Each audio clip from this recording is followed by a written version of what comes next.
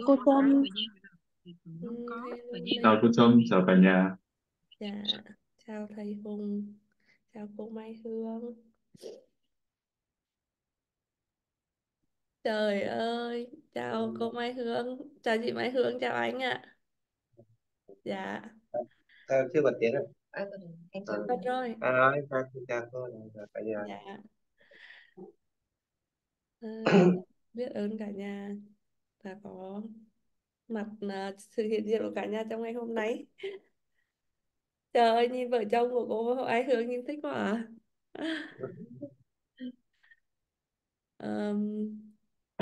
Cô dạ. ơi buổi sáng ờ, sáng hôm nay lúc ờ, mở Zoom ấy xong rồi nghe cô mở nhạc thì em có cảm giác như kiểu là ờ, nó có một cái gì đấy giống giống như kiểu mình chờ đợi sáng ngày mùng một đấy cô ạ.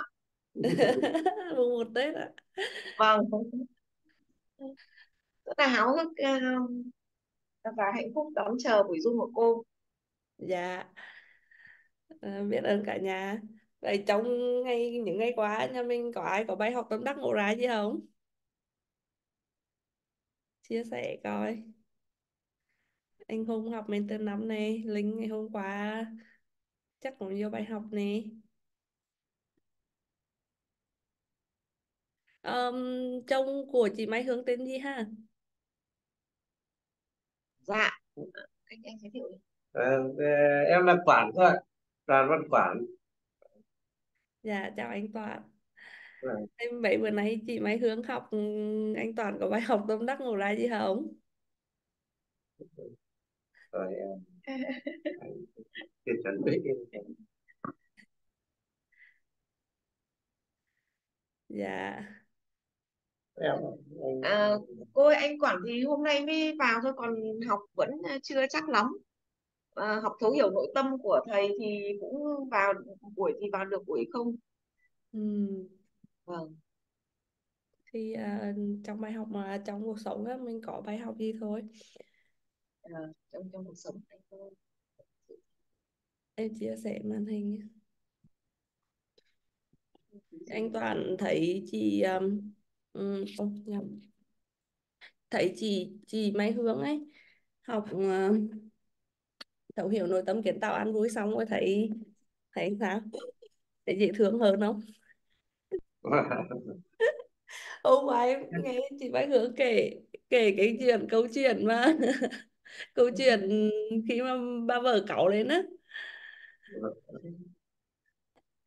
Hôm qua đi ở trên đường thế là ừ, cảm thấy là khi mà mình đón nhận mọi thứ bằng cái tâm ấy thì cái thời gian nó trôi nó nhanh mà nó nhẹ nhàng lắm ấy cô ạ. Ừ. tức là mình mình chỉ có mình chỉ nghe thôi mình chỉ nhìn thấy mọi thứ trên đường thôi không phân tích không phân biệt không đúng sai không một cái gì cả luôn ấy. Xong rồi cảm thấy là kiểu ừ, cuộc sống nó đúng là nó trôi đi một cách rất là nhẹ nhàng ấy nó không phải cố gắng cái gì cả và lần đầu tiên kiểu Linh cũng chạm chạm được một một chút như thế. Thế xong rồi mình bảo ôi nếu mà cuộc sống mình như thế này thì quá là tốt đẹp. Cho nên là mình sẽ ờ, nguyện để gọi là luôn luôn ở trong cái trạng thái này ấy. Dạ. Bữa nay nghe cái bài hát đó tôi chứ cứ nghĩ tới Linh không à dạ mời chị Mai Hương À, em chào cô, em chào cả nhà. Cô ơi, em mấy ngày qua em ứng dụng cái à, chỉ chỉ à, chỉ biết là như vậy thôi ấy. ừ. Ô, thấy nó thấy nó khác thường, nó vi diệu lắm cô ạ. Ờ, trong mấy cái ngày mà tuần vừa rồi à, là em về em phục vụ à, hai ông bà thì hai ông bà rất là yếu. Còn ông thì trong em về một tuần thì ba lần ba lần là ông đi vệ sinh và vãi từ cửa nhà mà vào nhà vệ sinh. Xong rồi nó bé bét hết cả ra nhưng mà uh, đến khi mà mình nhìn thấy như vậy thì em em dừng lại ngay ở cái chỗ là biết là như vậy thôi. Thì uh, đến khi phục vụ ông ừ, thấy nó rất là đơn giản nó rất là nhẹ nhàng uh, nó nó nó chưa đạt đến nó nó không đạt được mà cũng không có nhu cầu đạt đến mức vui vẻ nhưng mà mình mình thấy nó nó đơn giản và nhẹ nhàng thực sự là nó đúng với hai cái từ đó, đơn giản và nhẹ nhàng. Uh, xong rồi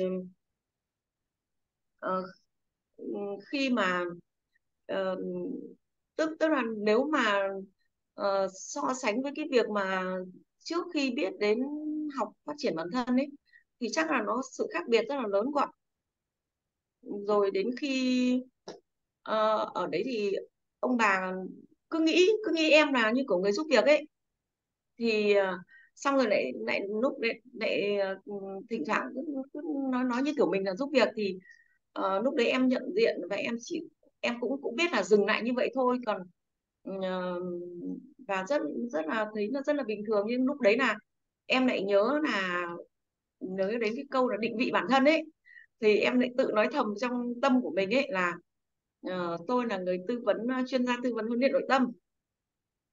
Xong có một buổi thì ờ, bà bà nhìn thấy em học ngồi học cô ấy thì bà bà ra bà thì thầm bà bảo này ừ, thế cô ơi cô thế cô vừa đi giúp việc xong cô lấy tiền để cô học à?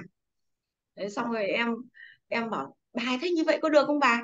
Xong xong rồi lúc bà bảo được được. Xong rồi em lại lại lại lại kiểu ý là nói thầm cho mình là mình học tư vấn huấn luyện nội tâm. Nhưng mà ờ, em nhận diện ra là không phải là vì cái vì là động đến cái tôi của mình ấy. Ví dụ ngày xưa mà ai mà nói mình là giúp việc thì mình cảm thấy là bị bị tổn thương chẳng hạn hoặc là bị cái tôi của mình bị ờ, ảnh hưởng ấy. Nhưng mà bây giờ thì nó không ở cái tâm thái như vậy. Nó ở cái tâm thái nghe nghe cái, cái đấy nó rất là bình thường.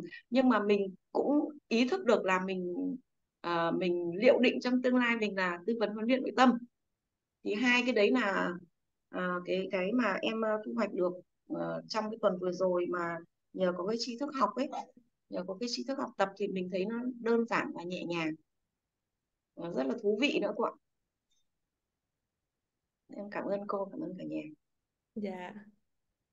Học nội tâm ấy mà học nội tâm mình hiểu cũng quá còn nói á là mình hiểu được ừ, càng học càng thấy hay bởi vì mình hiểu chính mình ờ, mình hiểu những cái hành vi mọi thứ ở ngoài xã hội á thì từ thế giới bên trong tạo ra thế giới bên ngoài á. Cho nên là khi mà càng học á mình càng hiểu mình á mình lại càng muốn học nữa.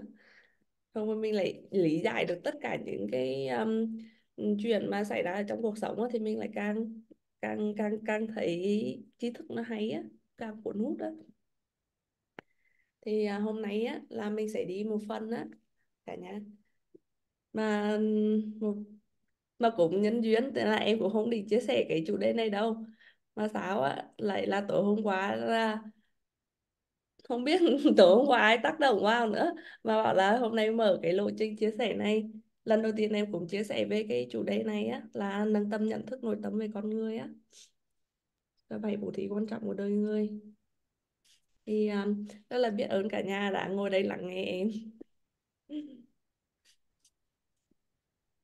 mình học về, học phần là nâng tầm, nhận thức nội tâm.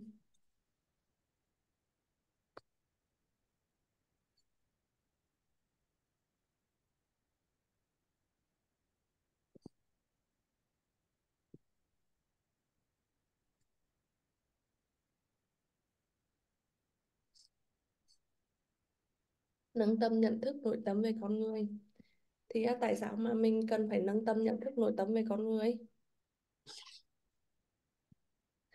Có phải là con người là duyên lành không cả nhà? Con người là duyên lành thì trong cái công thức là nhân tốt cộng duyên lành là quả như ý á thì mình cần phải khởi duyên lành để đón nhận duyên lành. Và muốn khởi được duyên lành ấy thì mình cần phải có nhận thức về con người. À, nhận thức về con người thì sẽ giúp cho chúng ta kích hoạt được duyên lành. Và chìa khóa để mà kích hoạt duyên lành á là bảy bố thí. À, nhưng mà kích hoạt mà uh, duyên lành ở bên trong á, rồi thì mình phải nâng tâm nhận thức nội tâm về con người. Khi mà duyên lành tới thì mình sẽ dùng nhân cách kiện toàn để giữ diện duyên lành được bên lâu dùng nhân cách kiện toàn thì lúc đó cái quả như ý á, mình sẽ tự gặp đây thì có cái này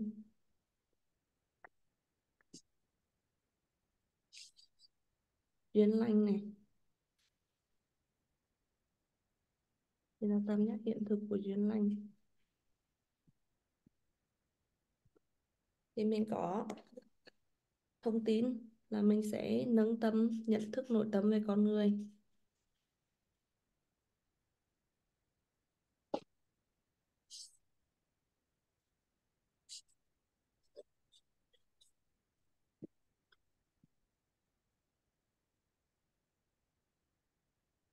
Còn về mặt năng lượng an vui bao dung trân trọng biết ơn.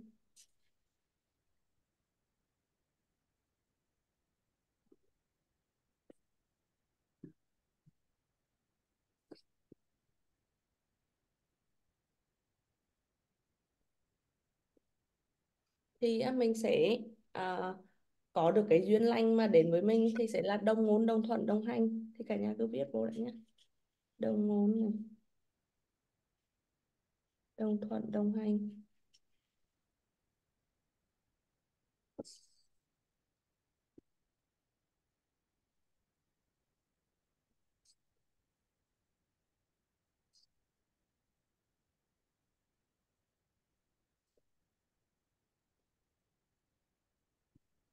Vậy thì á khi mà mình á kiến tạo được muốn kiến tạo được duyên lành thì đầu tiên á là mình phải nâng tâm nhận thức nội tâm về con người.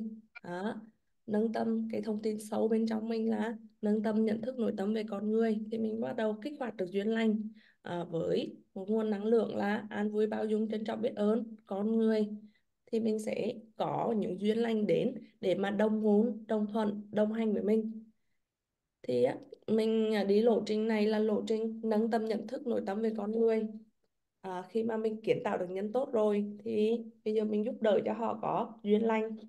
Mình kiến tạo duyên lành thì mình sẽ kích hoạt được và mình sẽ cuối cùng là gặt quả như ý cả nhà. Vậy thì mình sẽ có những nhận thức nội tâm gì đấy? Thì bây giờ mình sẽ đi tìm hiểu phần này đó là nhận thức nội tâm của con người. Mình có uh, cả nhà nhớ là ở phần trí tuệ á là mình có nhiều tầng bậc trí tuệ đúng không? Dạ đúng rồi nhiều ạ. cái à, với lại là nhận thức á nhận thức nội tâm uh, tầng bậc 1, 2, 3, 4 á nhớ nhớ. Ừ.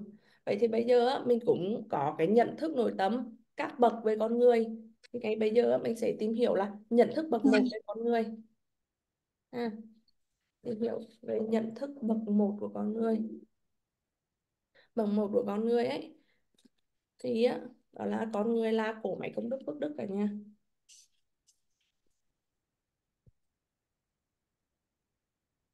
tầng bậc 1 này. Mình sẽ có con người là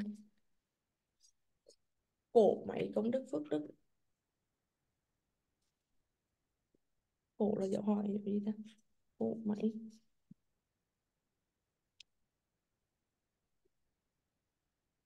Công đức phước đức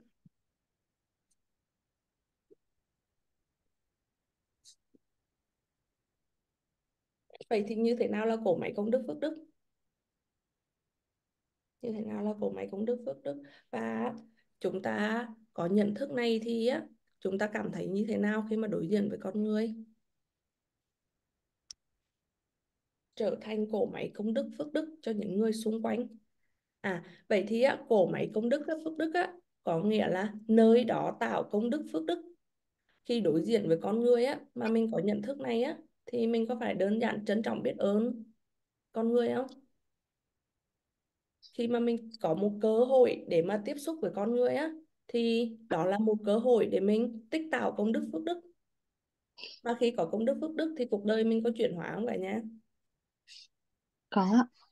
À, vậy thì á có một cái nhận thức nữa đó là uh, chúng ta không nghĩ làm sao để tích tạo công đức phước đức cho mình mà là tức là bình thường ấy mình có phải là ở ờ, mình hay hay nói chuyện với nhau là mình đi tích tạo công đức phước đức uh, cho bản thân mình không?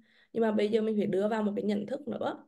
Đó là à, chúng ta làm sao mà để trở thành cổ máy à, cổ máy công đức phước đức cho những người xung quanh. Làm sao để trở thành một cổ máy công đức phước đức cho những người xung quanh? Ví dụ như nhá con của mình nếu mà chúng ta trở thành cổ máy công đức phước đức cho chồng này cho con của mình thì sao? Có phải là ví dụ khi mà một đứa trẻ làm gì đó mà mình cảm thấy khó chịu thì á, là con của mình đã gián tiếp tích tạo cái khối điện từ ấm nơi mình cũng cả nhá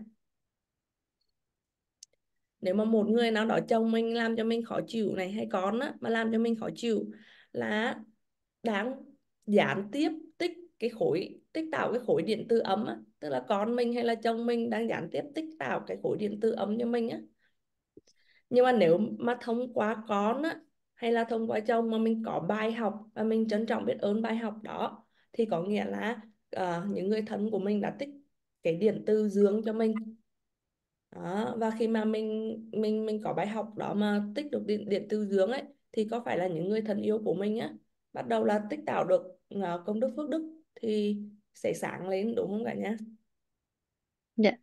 Ừ. nhưng mà nếu như mình lấy cái bài học này này mình đi chia sẻ nữa cho nhiều người tức là bài học ừ, mình rút ra mình đi chia sẻ cho, cho nhiều người. À, vậy thì ừ, con của người thân của mình á, sẽ tích tạo được công đức phước đức thông qua cái việc mà mình đi chia sẻ nhiều cho mọi người nữa thành cổ máy luôn đó cả nhà. Tức là uh, nắm được tới đây không? Có ừ. Vậy thì á, cả nhà để ý tại sao lớp học của thầy á mà chuyển hóa rất là nhanh luôn. Ờ, những người mà vào trong lớp thấu hiểu nội tâm kiến tạo an vui á học chuyển hóa rất là nhanh luôn. Sao nhỉ? Có phải là thầy á đã biến bản thân thầy trở thành cổ máy công đức phước đức không cả nhà? Nếu như mà mình chỉ ngồi mình nói như thế này thôi á à, mọi người nhận được á, thì nó chỉ là thông tin thôi. Ví dụ như Khánh Trâm ngồi đây nói này xong Khánh Trâm đưa cho cả nhà á, thì có phải là uh, chuyển thông tin từ người này sang người khác không? Vâng. Ừ. nhưng mà um, phải có công đức phước đức nữa. Thì cái người nghe mình á tức là người nghe bài của mình á thì mới chuyển hóa được. Thì á thường á, là thông qua thầy thì họ tích tạo được công đức phước đức nên là họ chuyển hóa rất là nhanh bởi vì là ví dụ như một lần mà họ đứng dậy phát biểu á cả nhà. Đó, đứng dậy phát biểu xong rồi thông qua cái việc mà phát biểu của họ á, thì họ rút ra được bài học. Và bài học đó là trong cái dung rất là lớn cả nghìn người. Thì có phải là rất là nhiều người nhận được cái bài học đó không? Và dạ rất đúng rồi. ừ, rất là nhiều người học bài học đó thì họ tích tích được ừ, công đức phước đức á nếu mà thực sự bài học đó mà nâng tâm nhận thức nội tâm hay là uh, nhận được về sự chân thật thì là công đức. Còn không thì là tích tạo được phước đức. Cho nên họ chuyển hóa rất là nhanh bởi vì họ họ họ có công đức phước đức á. Và thông qua thầy thì thầy thầy là cổ máy công đức phước đức. À, thầy là cổ máy công đức phước đức. Cho nên á có một cái câu nói là con người chuyển hóa là do bài học tâm đắc ngộ ra của học viên khác cho nên phải tạo bối cảnh cho uh, mọi người chia sẻ bài học tâm đắc ngộ ra là vậy á cả nhà. Cho nên là dạ. Linh này cô Mai Hương này hay chia sẻ bài học tâm đắc ngộ ra thì à, là cơ hội để mình tích tạo được công đức phước đức á cả nhà. Làm cho đầu mình sáng lên á. Với lại là mình có học về cái bài kích hoạt não rồi. Đấy. Hoặc là um, để ý nhá. Có phải là lúc mà uh, lên Zoom lớn á thì có rất là nhiều người họ nói chuyện chưa phù hợp. Họ chia sẻ những câu chuyện của họ chưa có phù hợp. Đôi khi là tích tích cái ác đức luôn tức là họ nói tào lao vớ vẩn ấy. Đó. hoặc là kể những câu chuyện về quá khứ kiểu bi thương á à, làm cho người khác đồng cảm theo cái điều đó. Nếu mà thực sự họ chưa là tấm tách cảnh được thì họ đồng cảm với chuyện đó. Thì thông qua thầy á thì thầy em sao? Thầy sẽ kiểu như thầy thông qua thầy để ý thì thầy sẽ làm cái bối cảnh đó để cho học viên có bài học học viên khác thấu hiểu một cái bài học mới. À, biết uh, cho nên là những cái người mà lên chia sẻ như vậy á họ sẽ có công đức phước đức. Thì lúc đấy á họ mới quay lại là không tích tích tạo cái điện từ ấm nữa đó là ác đức á mà chuyển qua dạ. là tạo điện từ dương là công công đức phước đức hay quá. Cô ừ. vậy thì khi mà mình á, là cổ máy công đức phước đức á thì mình sẽ sao? Có phải là mình điều hướng được ừ, nguồn năng lượng của xã hội không cả nhá? Điều hướng được cả công đức phước đức luôn. Tức là điều hướng được cả cái nguồn năng lượng của xã hội. Giống hôm bữa Linh có chia sẻ đó là ừm, có phải là lên TikTok thì rất là nhiều người kiên trì nói và rất là nhiều người kiên trì nghe mà toàn là ờ, những thông tin chưa chưa ngon bằng thông tin của nhà mình đúng không? đúng rồi cô ạ Ừ. Và khi mà mình trở thành cổ máy công đức phước đức thì mình sẽ điều hướng được cả nguồn năng lượng của xã hội. Thì như trong gia đình là mình sẽ điều hướng được nguồn năng lượng của gia đình. Đó. Ừm, Có những nhiều gia đình á, họ không có đồng ngôn với nhau á cả nhà. Không đồng ngôn với nhau. Vậy thì á, mình sao? Ừ, chẳng hạn như là à, như gia đình chị Mai Hương đây này có cả có vợ chồng có con cái ấy thì nhiều lúc ừm, hai vợ chồng đồng ngôn thôi nhưng mà con thì chưa đồng ngôn đúng không? Đấy mình hoặc là như thế nào đó mình mới bắt đầu là nói cái điều tốt đẹp. Tức hôm qua mình có học về cái sự ghi nhận biết ơn đó là mình làm lớn điều tốt đẹp của người khác nhưng mà mình nói trước mặt người khác đó cả nhà. Tức là này ví dụ như mình làm lớn điểm tốt đẹp của con xong rồi mình mình có phải là mình nói những cái điều này tốt đẹp trước ừm, cho chồng của mình ấy thì có phải là bắt đầu mình điều hướng được cái nguồn năng lượng ở trong gia đình không? Đúng rồi cô ạ. À, rồi mà vậy thường là thường là người người người ta sẽ nói ngược lại thì sẽ kiểu là về hôm nay có cái việc gì à, bực tức ở bên ngoài à, là là sẽ kể cho người yêu hoặc là kể cho cho chồng nghe thôi xong rồi à, bố mẹ cũng vậy. Thế là cuối cùng là đâm ra là toàn thì ghét à? Ừ, thì cuộc sống bình thường là nó là vậy mà. Nhưng mà khi mình học rồi mình biết là đưa ánh sáng vào á thì nó khác nói những thứ thuận chiều mong muốn làm lớn những điều tốt đẹp của nhau ở ngoài Và bây giờ nếu mà mình làm được điều đó, có phải là mình điều hướng được cả năng lượng của cả xã hội không? Và khi mình chia sẻ những điều đó, họ biết tới cái điều đấy á, thì thì có phải là ngon không? Bắt đầu cả xã hội thay đổi dần. Thì bây giờ phải bắt đầu từ mình đã. Thì mình có cái hình tượng này ha. Đây là một cái áo. Ừ, mình hình tượng này là cái áo. Đó là áo có một cái thuật ngữ là áo tù nước đọng nước đọng áo tù thì nước sao? Ừ, đó. Ừ, nước đọng có nghĩa là nước ấy mà nó chỉ chảy một chiều vào một chiều xong nó đọng lại thì kết quả là nước đó sẽ sẽ thúi hoắc lên tức là nước nó không lưu thông á cả nhà vậy thì trong một cái áo mà có tôm cá sống trong đó thì tôm cá nó không sống được. À, nó sẽ chết đi á. Nhưng mà nếu cái áo mà có sự lưu thông á thì nước trong áo lúc nào cũng thông thoáng và sạch sẽ đúng không? Vâng. à, vậy thì đối với công đức phước đức cũng như vậy luôn đó cả nhà. Tức là đối với công đức phước đức á, nếu như mà mình chỉ ham mình tích tạo cho riêng mình á thì lúc đó mình cũng giống như cái áo tu á. À, cái mình bị đặt cái năng lượng lại mình bị đặt cái năng lượng lại. Nên là mình cần phải khui dòng ra. Khui dòng mà chúng ta đi này đi vào này đi vào nhiều nhiều vòng và đi ra nhiều vòng đi vào và đi ra nhiều vòng. Thì khi công đức và phước đức đến với mình á mình xoẹt qua cho người khác luôn. Tức là mình luân chuyển luân chuyển thì cái áo của mình nó sẽ thông thoáng nó sẽ sạch và thông thoáng hiểu không nắm được chỗ này hiểu không ừ. hiểu thì cũng giống như trong tài chính á tài chính có một cái thuật ngữ là dòng tiền qua đêm. Tức là nếu mà tiền á mà mình giữ ở trong tài khoản của mình á kiểu dạng hôm bữa mình học về tiền là có tiền ở dạng vật chất về thông tin với lại năng lượng đúng không? Dạ vâng. Ừ thì nếu như mà tiền á mà ở dạng vật chất mà mình tích lũy á mình tích lũy mình tích lũy cho mình thì mình cứ giữ khứ khứ như vậy thì nó sẽ trở thành áo tù nó không có lưu thông được. Mà tiền á bản chất là của xã hội. Khi mà mình có kế hoạch xài tiền á có ý nghĩa thì tiền sẽ về với ta. Nhưng mà cả nhà để ý này khi mà mình giữ tiền trong người mình kiểu gì nó cũng bị mất đi à?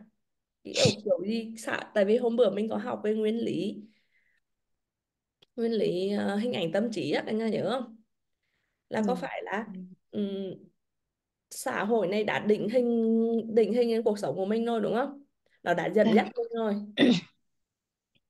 Người giàu thì tiêu gì người nghèo thì tiêu gì về già thì tiêu gì khi trẻ tiêu gì khi yếu thì tiêu cái gì ăn cái món gì. Vậy á mình mà có tiền ở trong tay á, thì á, mình không có kiểu như là không có giữ được lâu đâu. Mà kiểu gì mình cũng kiểu như không có ừ, kế hoạch xài tiền có ý nghĩa thì tiền nó cũng sẽ ra đi à nhưng mà nếu như mà mình giữ tiền á mà mình giữ tiền như vậy thì nó sẽ trở thành cái áo tù này không lưu thông được thì quá thời gian tiền cũng cũng gọi là đó. Vậy thì ở bên doanh nghiệp như tổ chức đào tạo quýt cũng vậy. À, tiền cũng đi qua doanh nghiệp nhưng mà xong rồi luân chuyển. Tức là tiền chỉ là một cái nơi để mà dòng tiền chảy qua thôi. Tức doanh nghiệp ấy hay là bản thân mình ấy thì mình có một cái nhận thức là chỉ là cái nơi để mà dòng tiền hay là công đức phước đức chảy qua thôi. Thì lúc đó từ từ á bản thân mình hay là doanh nghiệp mình hay gia đình mình sẽ sẽ lớn mạnh và giàu lên. Thì cái thuật ngữ dòng tiền qua một đêm á, có nghĩa là khi dòng tiền ở trong túi của mình mà ở lại một đêm thì lại sẽ sinh ra một đêm. Và cứ chạy qua nhiều lần nhiều lần như vậy thì thì nó cũng cho mình một ít đó cả nhà nắm được không ta? Nắm được cô ạ. Ừ. thì cũng giống như là công đức phước đức cũng vậy á. Tức là khi mà mình trở thành một cỗ máy công đức phước đức á thì á um, công đức cái phước đức đi ngang qua mình. Xong nó nó này nó đi ngang qua mình nó nó quay lại đi ngang qua mình nó nó cứ quay lại. Đi ngang qua mình nó nó cứ quay lại như vậy. Thì thì ờ, thầy thầy mình á thì luôn luôn tạo cái bối cảnh như vậy luôn đó cả nhà. Nếu mà cả nhà để ý nha cả nhà để ý là uh, thầy mình rất là hay tại vì cái môn học của mình là môn học để chuyển hóa. Môn học để chuyển hóa thì Khánh Trâm có để ý á, là thầy chia sẻ một trí thức nào đó thầy luôn luôn tạo bối cảnh để trong cái dung đó mọi người á đều um, trở thành cổ máy công đức phước đức. Có nghĩa là hoặc là những người hiện diện ở trong dung có công đức phước đức. Chẳng hạn như lớp học của mentor với master á, thì á, khi mà mentor với master học được một cái tri thức mới là thầy sẽ hỏi là um, các anh chỉ cho phép toàn chia sẻ tri thức này xuống phía dưới lớp thấu hiểu nội tâm kiến tạo ăn vui nha. Thì mọi người ví dụ như cả trong nhóm họ bảo là dạ được thầy. Thì khi thầy chia sẻ là cái là từ riêng là master mentor họ có công đức phước đức đó cả nhà. Thì cái bài học đó họ học sẽ thấu suốt hơn sẽ hiểu hơn rất là nhiều và họ chuyển hóa đó. hoặc là ừ, những cái lớp mà thầy đi offline xong rồi uh, thầy lấy tri thức ở um, online á cái lớp online này thầy lấy tri thức xong rồi thầy đi chia sẻ ở lớp offline thì lại là mọi người tức là cái cộng đồng đó họ chuyển hóa lắm. Bởi vì thầy đang luân chuyển công đức phước đức các cả nhà. Nắm không? Tức là kể cả là những người mà có cái bài học gì đó thầy kể lại câu chuyện đó gọi là kể lại câu chuyện chuyển hóa rất là hay. Dạ. có thầy bảo là sau này á các anh chị á hãy vác một bao tải câu chuyện chuyển hóa đi khắp thế gian. Thì những cái câu chuyện chuyển hóa của các anh chị á mà thầy kể lên xong rồi người khác tức là có bài học học được và chuyển hóa được nhờ vào bài học tâm đắc ngộ ra nhờ những câu chuyện chuyển hóa của các anh chị á thì thầy đang là cổ máy công đức phước đức thì người ta cũng sáng lên rất là nhiều. Vâng ạ. À, vậy thì mình có cái nhận thức là mình không chỉ là uh, không chỉ là đi tích tạo công đức phước đức mà là thành trở thành cổ máy công đức máy. Ừ. giống như tiền đấy vừa nãy mình có nói về tiền ấy thì nó sẽ là trở thành một cái áo của mình á nó thông thoáng hơn rất nhiều nó không bị bí không bị bí tắc chẳng hạn nhé chẳng chẳng nói ở đâu nói ngay cả những tri thức mà mình nhận được này. Thì á tri thức uh, về nội tâm á, mà Khánh chấm học được rất là nhiều luôn. Nhưng mà nếu như không đi chia sẻ cho nhà mình á thì nó cũng có phải là bí lại không? Và sau một thời gian nó thủi luôn tức là nó Khánh chấm trải nghiệm được luôn đó cả nhà. Tức là khi mà Khánh chấm học xong mentor tức là mình học mình hiểu mình thấu suốt mình chuyển hóa. Xong rồi mình cũng học xong, mình cũng chia sẻ nhưng mà không đủ đồ á, tức là chia sẻ không đủ nhiều với những tri thức mà mình mình mình nhập vô người á. Thì lúc đó để một cái giai đoạn mình khó chịu lắm, mình nghi ngờ trí thức luôn. Tại vì mình chưa xuất ra, mình chưa có khui cái dòng áo này ra để cho nó chảy ra, tức là mình ừ, đưa trí thức này đến cho nhiều người hơn nữa. Thì lúc đấy ừ, nó bức bối trong người luôn, nó khó chịu lắm và một ngày trôi qua mình cứ nghĩ là mình còn nên học master nữa không hay gì nữa. Thì bị cái đó trong vòng 3 ngày bị, bị trong 3 ngày thôi chứ không phải bị nhiều như người khác. Nhưng mà bị trong vòng 3 ngày cái là mình bị mệt á. Thì mình mới mới mới mới tự hỏi bản thân mình.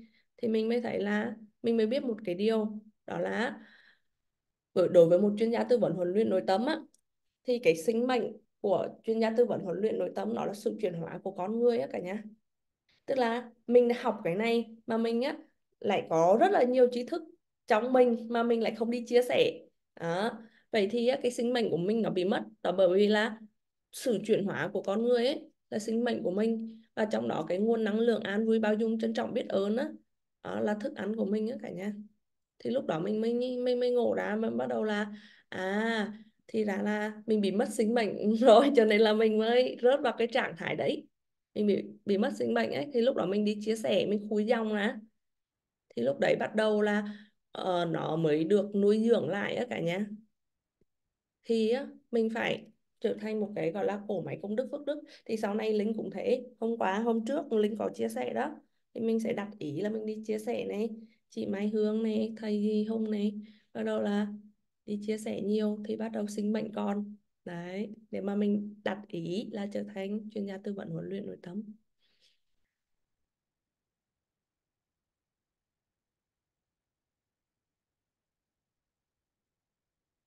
Rồi, vậy thì giúp người khác trở thành cổ máy công đức phước đức. Bây giờ mình mới có một cái nhận thức như thế này, là làm sao để giúp người khác trở thành, bây giờ mình trở thành cổ máy công đức phước đức rồi, đúng không cả nhà?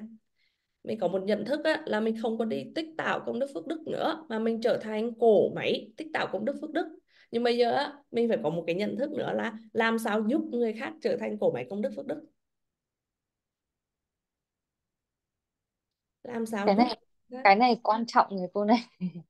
À, làm sao giúp người khác trở thành cổ máy công đức phước đức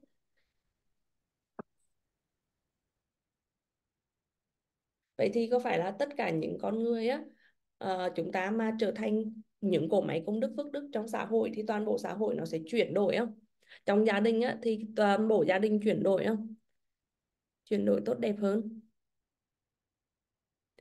Vậy thì á chỉ khi nào á mình là cổ máy công đức phước đức cho con người thì con người sẽ đơn giản để chuyển hóa.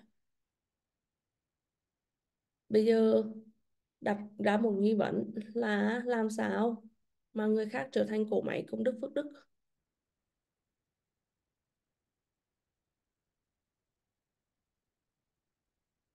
Làm sao? Thì có phải giống như thầy không? Tạo bối cảnh không? Thầy là cổ máy công đức phước đức xong rồi thầy á, còn còn tạo ra những cổ máy công đức phước đức nữa là là những mentor và master không cả nhá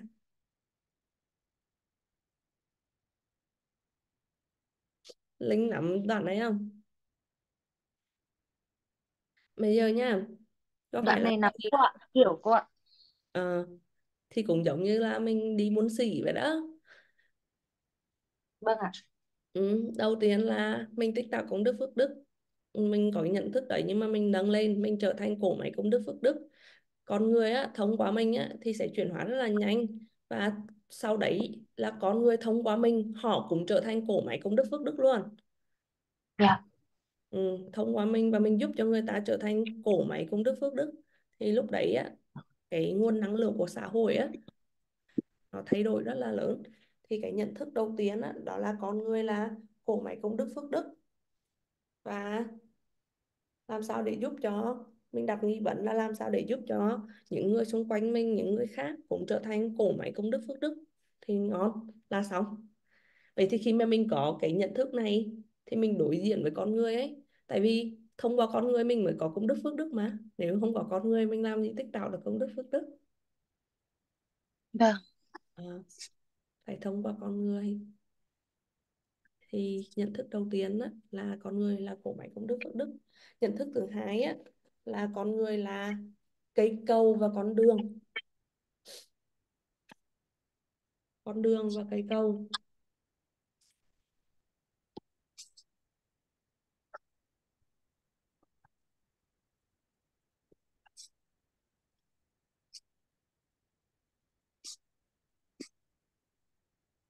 Con người không là con đường thì thì là cây cầu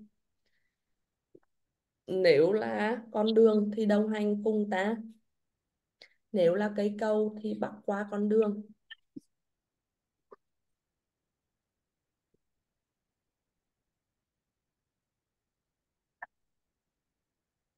Con người không là con đường thì là cây cầu. Nếu là con đường thì đồng hành cùng ta.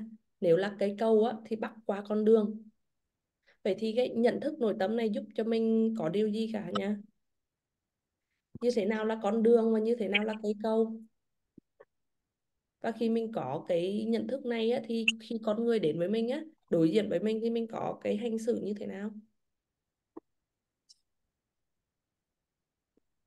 Con người không phải là con người không phải là cây cầu thì cũng là con đường không phải là con đường thì cũng là cây cầu. Cô ơi, ở phần này thì ờ, ví, ví dụ con người là con đường tức là những cái người mà đồng hành cùng với mình. Ừ. còn ờ, trong có những trường hợp ờ, con người không đồng hành cùng với mình nhưng lại là kết nối. Ờ, ví dụ như là bạn ờ, Thanh Nhàn ấy ừm, thì cũng ờ, tức là em với bạn Thanh Nhàn cũng có mối quan hệ từ trước cũng và từ vài năm nay. Ờ, thì em ờ, theo dõi Facebook của bạn ấy thì em mới biết là có Zoom của cô Khánh Trâm thì thông qua bạn Nhàn thì em em biết ờ, cô Khánh Trâm thì ờ, lúc đấy thì tức là bạn Nhàn là cây cầu kết nối dạ và từ khi mà có cái nhận thức này thì luôn luôn biết ơn và trân trọng con người Ờ, trân trọng những cái nhân duyên mà mình được gặp gỡ những cái con người mà mình đang được gặp ạ. ừ. Dạ đó đó là con đường với cây cầu á cả nhà. Biết ơn nào của mày hướng vậy thì mình không có chấp con người là con đường và cây cầu đúng không cả nhà? Tức là không có chấp vào đây là cái người đồng hành cùng với mình hay là không đồng hành với mình ấy. Tức là không chấp vào con người là con đường hay là cây cầu bởi vì á, có những lúc á, họ sẽ là con đường có những lúc họ sẽ là cây cầu thì con đường ở đây á là nhân tài á cả nhà. tức là những người mà đồng hành với mình. Còn cây cầu á chính là nhân mạch á là kết nối con người với chúng ta. Vậy thì mình không bị dính chấp. Con người là con đường thì là con đường thôi. Con người là cây cầu thì là cây cầu thôi. Không có mà là có những lúc họ là con đường có những lúc họ là cây cầu. Ha Dạ. nên bất kỳ ai mà đến với mình á thì họ đều có lý do họ mới đến. Bất kỳ ai đến với mình họ đều có lý do thì họ mới mới đến và họ hiện diện ở nơi đấy. Vậy thì á, nếu họ không phải là con đường đồng hành với mình thì biết đâu họ là cây cầu uh, bắc qua con đường.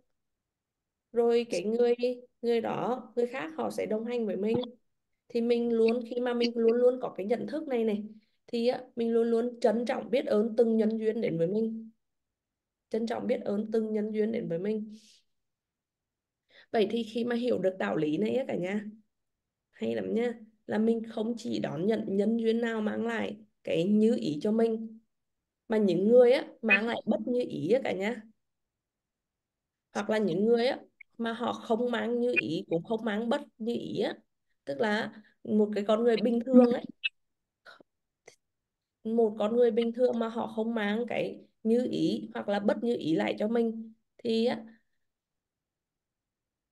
khi mà mình nếu như mà mình á mà cảm giác như là mình thấy người ta phiền phức ấy có những cái thứ có những cái trường hợp trong cuộc sống là mình cảm thấy nhiều người thực ra họ cũng không có mang lại như ý mà họ cũng không mang bất như ý thì mình cảm thấy là sao cứ gọi điện cho mình sao cứ này này kia mình cảm thấy phiền đấy mình chối bỏ nhân duyên đó.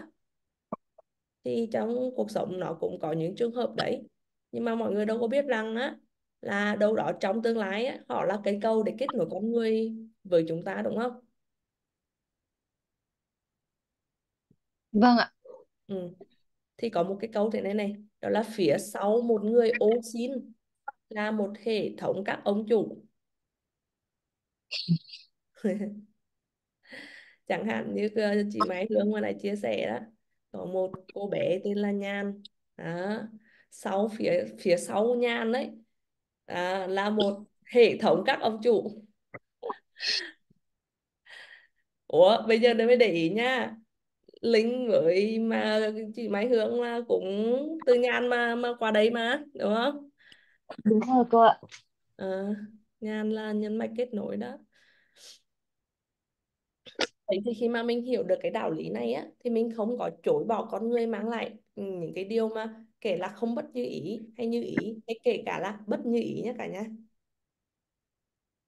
Mình không có chối bỏ nhân duyên nào đến với mình. Đó, nếu mà mình chối bỏ thì điều đó rất là thiện cận luôn thì thường con người ai mà mang điều như ý đến cho mình thì mình trân quý còn ai mang phiền phức cho mình thì mình né đi. Ờ, nhưng mà khi mà mình biết được bài học này rồi á thì mình biết là mình trân trọng biết ơn mọi nhân duyên đến với mình. Và khi mà mình rõ mong muốn của mình nói cả nhà khi mình rõ mong muốn của mình á thì chắc chắn là sẽ duyên lành sẽ tới. Tức là sẽ có những người mà đồng hành á sẽ có những người đồng hành đến với mình nếu mà mình rõ mong muốn cả nhà học cái bài um, nguyên lý đích đến đó mà đúng không? À, mình vâng rõ mong muốn thì bắt đầu nghiệp duyên kích lên. Thì nghiệp duyên nó đến làm cho làm cho mình có làm được tất cả những cái điều mà mình muốn làm tức là đủ nguồn lực ấy. Khi rõ mong muốn thì nguồn lực sẽ sẽ đổ về để cho mình làm cái điều đấy. Còn những con người mà họ mang đến những cái điều bất như ý cho mình á mà mình chối bỏ họ á, thì nghiệp duyên của mình sẽ bị đóng lại luôn và không còn ai đến mà gánh vác với mình. Đây là cũng một cái mà hành châm cực kỳ tâm đắc luôn. Tâm đắc để mà ứng dụng trong cuộc sống luôn á. Tức là khi bất kỳ mà mình học mình có nhận thức là cội nguồn cuộc sống bắt nguồn từ chính mình thôi. Hôm qua mình có học bài hôm trước mình học bài bao dung á nhớ không? Là tách con người và tách sự việc ra. Thì có phải là mọi thứ bất như ý đến với mình là do cái quả mình phải gánh không đúng rồi cô ạ. Cội nguồn cuộc sống xuất phát từ mình thì mình sẽ tách ra tách giữa con người và tách giữa cái sự việc ra. Vậy thì lúc đấy á con người á họ mà mang lại bất như ý cho mình á thì nếu như mà mình không hiểu không có một cái nhận thức sâu sắc như vậy thì mình bắt đầu ghét con người ấy. Thì lúc đấy mình chối bỏ mình từ bỏ con người á là lúc đó nghiệp duyên đóng lại luôn. Và khi mà Khánh Trâm biết được cái điều này á thì á khi mà Khánh Trâm gặp những người mang lại bất như ý đối với mình á, thì ngay nếu mà là ngày xưa nhá là bắt đầu ghét, bắt đầu là chặn Facebook, bắt đầu là chặn hết, tức là ừ, đừng có xuất hiện trong cuộc đời tôi một lần nào nữa. Kiểu bắt đầu đổ lỗi, oán trách á. Và không biết là của nguồn cuộc sống xuất phát từ mình. Và lúc đấy, khi mà mình làm như vậy á, đóng hết duyên lành luôn. Đóng hết luôn, đóng hết duyên nó bắt đầu là duyên nó không không tới nữa và khi mà có nhận thức này rồi ấy thì bắt đầu là mình nâng tầm nhận thức của mình lên và không bị dính mắc vào đấy. Tức là tách tâm với cảnh tách cái hành vi của con người và con người. Ấy. thì lúc đấy á, cả nhà nhiều điều ví diệu xảy ra lắm. Những con người mà mang lại bất như ý thì cái quả đó mà mình đón nhận rồi cái quả đó nó triệt tiêu luôn rồi. Và lúc đấy á, cái người đó bắt đầu họ mang lại những cái như ý cho mình á nha hay lắm. Nó lại mang lại những như ý cho mình. Hay không thể hình dung luôn. Thế là lúc đó mình phải ồ nếu mà mình thực sự là là là có những nhận thức ở trong trong người mình á thì lúc đấy là những cái quả như ý á nó đến nó sẽ đến. Và những bất như ý nó sẽ triệt tiêu luôn. Gọi là nhân quả không hồi tố là có thật luôn đó cả nhà. Vậy thì ôi khi là thế là thế là chính khi cái khi con người mang điều bất như ý đến mà mình mà mình không oán trách mình không né tránh thì ờ, thì tức là cái cái quả đấy nó hết rồi. Nhưng mà cô vừa nói là cái những cái điều như ý nó đến thì là cũng là do chính người đấy hay là là, là do những con người khác mang đến? Như ý hả? Như ý hay bất như ý? Khi con người mà mang cái bất như ý đến với mình ấy như cô vừa nói ấy, thì cô nói cái phần sau là sau đấy là những cái điều như ý nó đến với mình nhiều ấy à, thì thì ý ý em muốn hỏi là chính những cái người đầu tiên mang bất như ý đến thì hay là hay là những cái tích nó chỉ là cái cái ờ, kích hoạt những cái nhân duyên tốt khác mà nó đến với mình? Như trải nghiệm của em á là chính cái người đó luôn. Ờ, Ờ, tức là bây giờ cả nhà chỉ cần hình dung thế này. Đây là mình nói ở tầng tâm thức xấu nhá là cội nguồn cuộc sống xuất phát từ mình bắt đầu mình có cái nguồn năng lượng an vui bao dung trân trọng biết ơn thì nó tưới lên đó, nó chỉ tưới lên cái những cái cái quả mà quả như ý thì bắt đầu là nó gặt. Thì cái nhân duyên của mình á thì nó nó nó sẽ có những nhân duyên thì nhân duyên hiện tại mình chưa đóng thì nó nó mang lại những cái quả như ý cho mình. Thì cái đó là ở tầng gọi là tâm thức sâu sắc rồi. Nhưng mà nói về đời thương đấy thì có phải là một cái người mà gây cho mình bất như ý nhá? Mà mình không oán trách họ được chưa? Mình không oán trách họ mình không thế này thế kia với họ. Thì hôm qua hôm trước mình học bao dung. Nếu mà không nói ở tâm tầng tâm thức xấu á mình nói bao dung luôn. Mình có phải là mình là bao dung cho người ta thì người ta sẽ hướng đến sự tốt đẹp không phải nhá và lúc đấy ờ, á, bắt đầu á người ta sẽ thấy là ồ họ như vậy đối với mình rồi. Mà thực ra mình cũng chẳng thấy lỗi của người à, mình không thấy lỗi của người thì bắt đầu là họ hành vi của họ khác đi à. Trong cái trải nghiệm của Khánh Trâm á đấy là cái cái trải nghiệm của Khánh Trâm ở thực tế luôn. Thì lúc đấy thật ra không phải mình bao dung mà cũng không phải là mình thế này thế kia mà mình có tầng nhận thức là do mình do mình nên mình mới phải gặt cái quả này.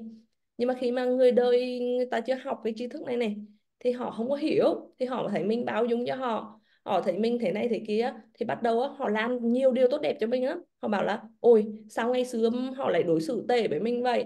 Sao ngày xưa ừ, một tức là họ sẽ bảo là mình là một con người xinh đẹp tốt đẹp như vậy mà tại sao họ lại lại cư xử như vậy á? Họ bắt đầu thay đổi á cả nhá họ thay đổi á và họ hướng đến điều tốt đẹp hơn và họ làm được nhiều điều tốt đẹp hơn cho mình á. Thì cái đó là cái trải nghiệm của em. À, trải nghiệm của em ngoài trong cuộc sống thì lúc đấy mình mới thấy uh, thì là là như vậy. Còn ở trong tâm nhận cái là cái tâm thức sâu sắc của mình á thì mình phải hiểu là mình chả bao dung cho ai cả. Bởi vì á cái quả mình gặp thì mình phải gặp thôi. Không có người này thì sẽ có người khác mang lại cho mình. Nên là mình tách hành vi của con người với con người ra. À, thì lúc đó nhân quả nó bị chấm dứt. Mà nhân quả đã chấm dứt rồi mà mình lại có nguồn năng lượng an vui bao dung trân trọng biết ơn thì những quả như ý á, sẽ sẽ gọi là sẽ à, sẽ trổ ra. Vậy thì nó nằm lại con người. Thì nếu như cái người đó như trải nghiệm của em là cái người đó luôn. Nhưng mà có thể là người đó hoặc là người khác mang lại quả như ý cho mình.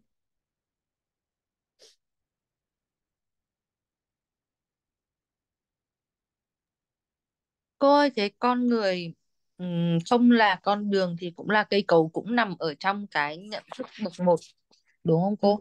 đúng rồi bậc một hết á mình đang bậc một này còn cổ nguồn bậc hai mới là bậc một là gì nhớ không Là phân biệt đúng sai phải trái đúng không cô?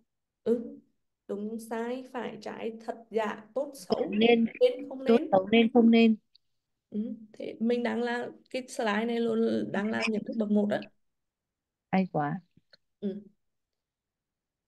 vậy thì có một cái bức tranh này này cả nhà có một cái bức tranh rất là đẹp. Mình đưa cái bức tranh này vào. Đây bây giờ mình hình dung nha là mình có uh, cuộc đời của mình á sẽ là một cái bức tranh rất là xinh đẹp. Rất là xinh đẹp. Thì trong cái bức tranh này nó sẽ có như thế này.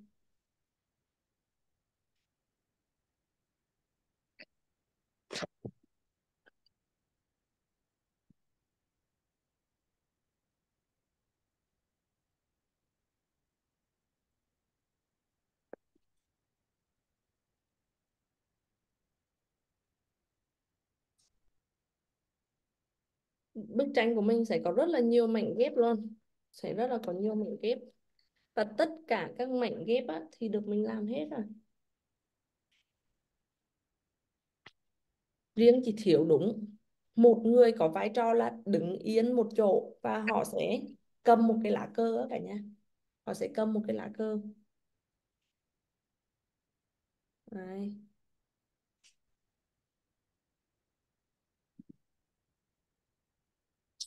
À. Ừ. vai trò của người này á, sẽ đứng yên một chỗ để cầm lá cờ. Họ không có làm gì hết á. Nhưng mà không có họ á, thì bức tranh của mình không có hoàn chỉnh. Tức là đây, đây là một cái bức tranh cuộc đời của mình ha. Có cái nhiều mảnh ghép ghép lại nhưng có một người làm lá cờ đứng đây để cầm lá cờ cả nhà. Và vai trò của người này là cũng chẳng làm gì cả họ chỉ đứng đấy thôi họ cầm cái lá cờ này giống như là để uh,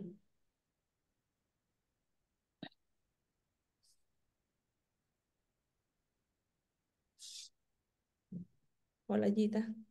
Dùng từ gì được nhỉ?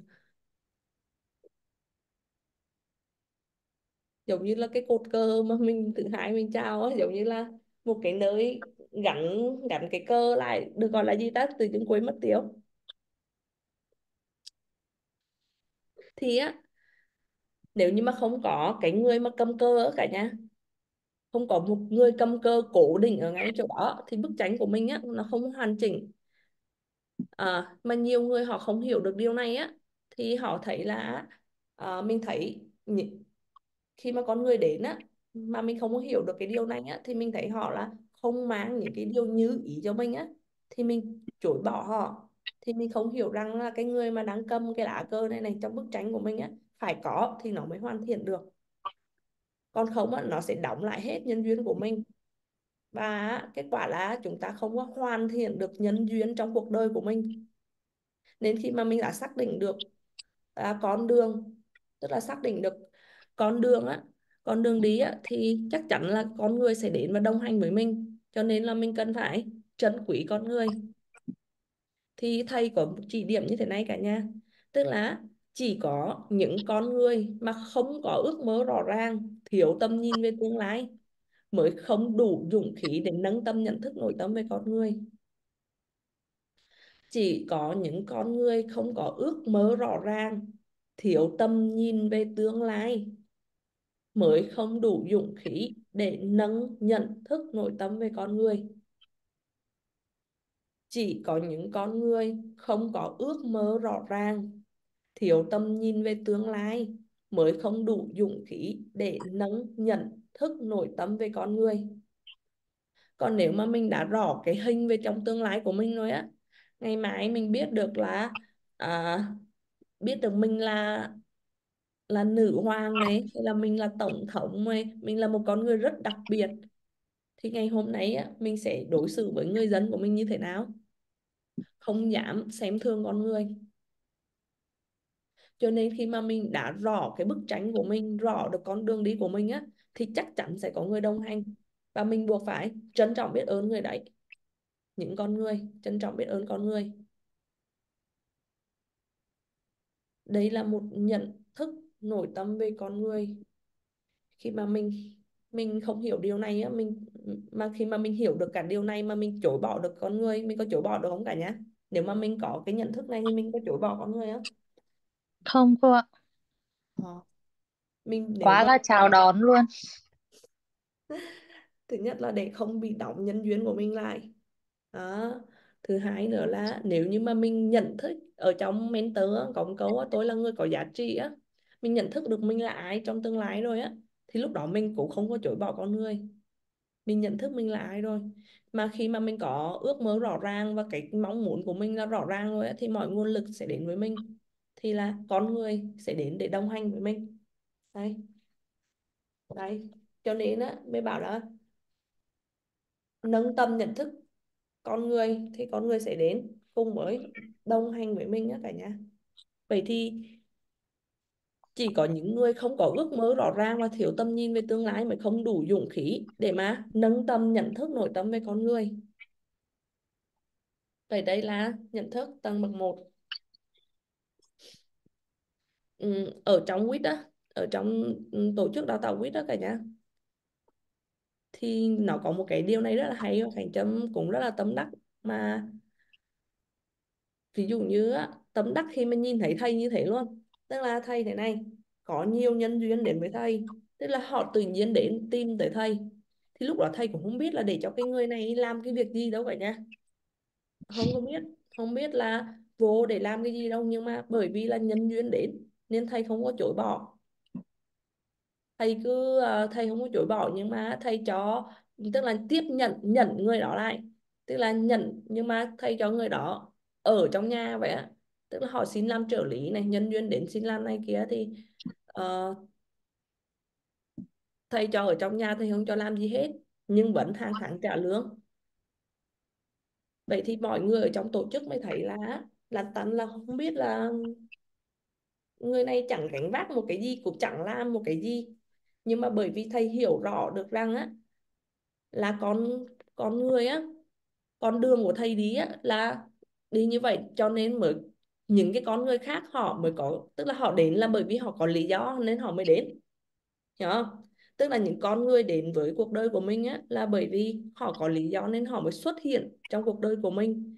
Cho nên là thầy đón nhận hết những cái nhân nhân duyên đó cả nhà. Và đón nhận hết những nhân duyên đó. Và sau nhiều năm, sau nhiều năm thì sứ mệnh của những con người đến đó, nó được hiển lộ rõ luôn và trở trên con đường của thầy đi. Ví dụ như nhá à, thầy nhấn mà dạy dạy về uh, về chạy bộ à ta thầy nhấn ở trong tổ chức đào tạo quýt em biết em biết ạ. Ừ thầy đó cũng vậy á là đầu tiên thầy xin vô nhưng mà cuối cùng là thầy toàn không cho làm gì hết luôn á.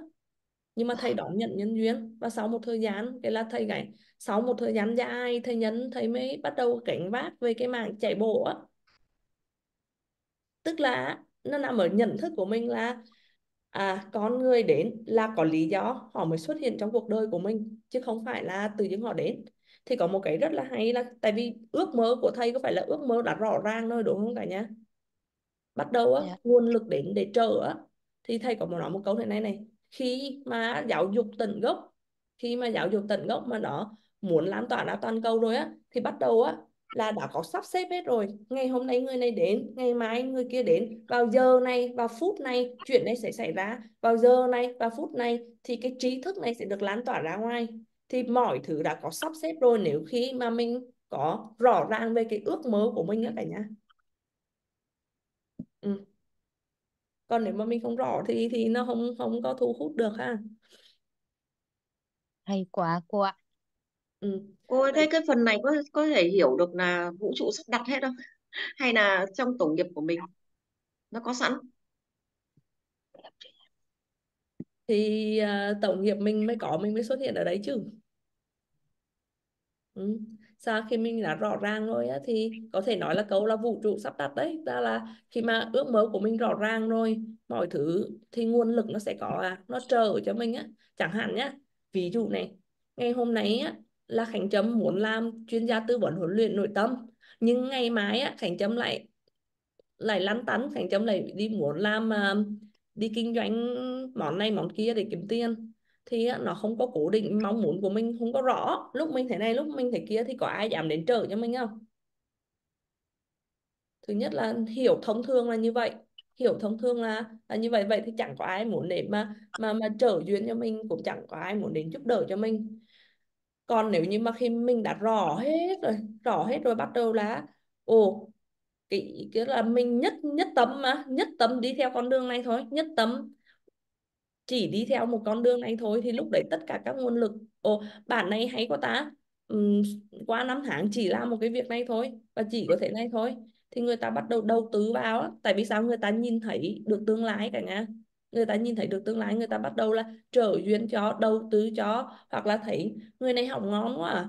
người này thế này thế kia ngon quá mà họ không làm tiếp á, thì uổng rất là nhiều người ở trong quýt á học rất là tốt mà không có tiền để đi à, đi đại hội hay là không có tiền để học lên master cả nhà vẫn có người đến để trợ cho họ đưa tiền để luôn họ bảo là tiền này học đi thành người ta học ngon quá mà người ta kiểu như nhất tâm vào cái cái chuyện đó. Nó thể hiện lên luôn cả gọi là nó thể hiện ra luôn cả con người luôn ấy.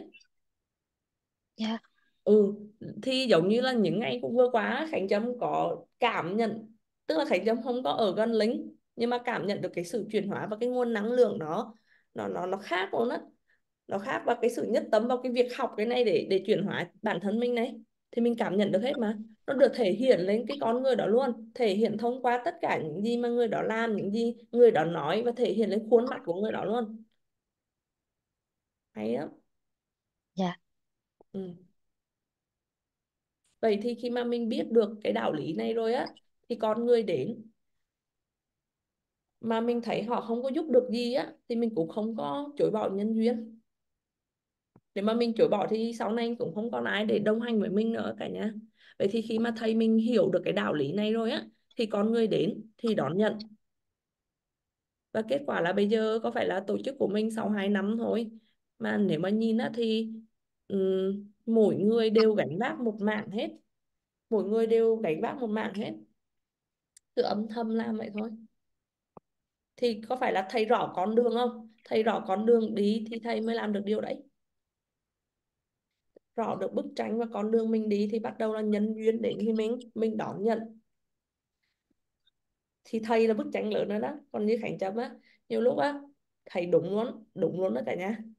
Ví dụ như nha, mình rất là nhất tâm vào việc học chuyên gia tư vấn huấn luyện nội tâm để trở thành chuyên gia tư vấn huấn luyện nội tâm và rất là rõ cái mong muốn của mình luôn.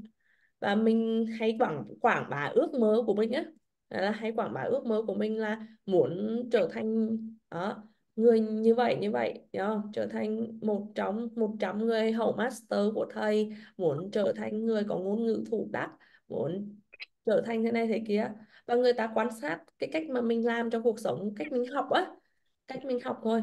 Thì á, bắt đầu họ trở duyên cho mình á cả nhà họ bắt đầu họ trở duyên cho mình ở các mạng luôn. Kể cả là những người ngày xưa mang đến bất như ý cho mình và những con người bình thường ấy họ cũng chẳng mang cái gì đến cho mình. Bắt đầu họ nhìn thấy á họ làm cái cây cầu á cả nhà. Bắt đầu họ kết nối. Đấy á. bắt đầu là duyên lành khởi. Duyên lành khởi. Tuyệt vời quá cô ạ. Vậy đó. Vậy thì mình có một cái nhận thức là con người không là con đường thì cũng là cây cầu. Và có những con người như vậy vai trò của họ là đứng giữ cái lá cờ thôi. Nhưng mà không có họ thì cái bức tranh của mình không có hoàn thiện được. Cái chỗ mà con đường là con đường cây cầu này nó cũng giống như là ở trong nhiều cái cái cái tổ chức và cần phải nhấn mạnh kết nối á. Vâng. tổ chức kinh doanh á cần phải có kiểu hệ thống.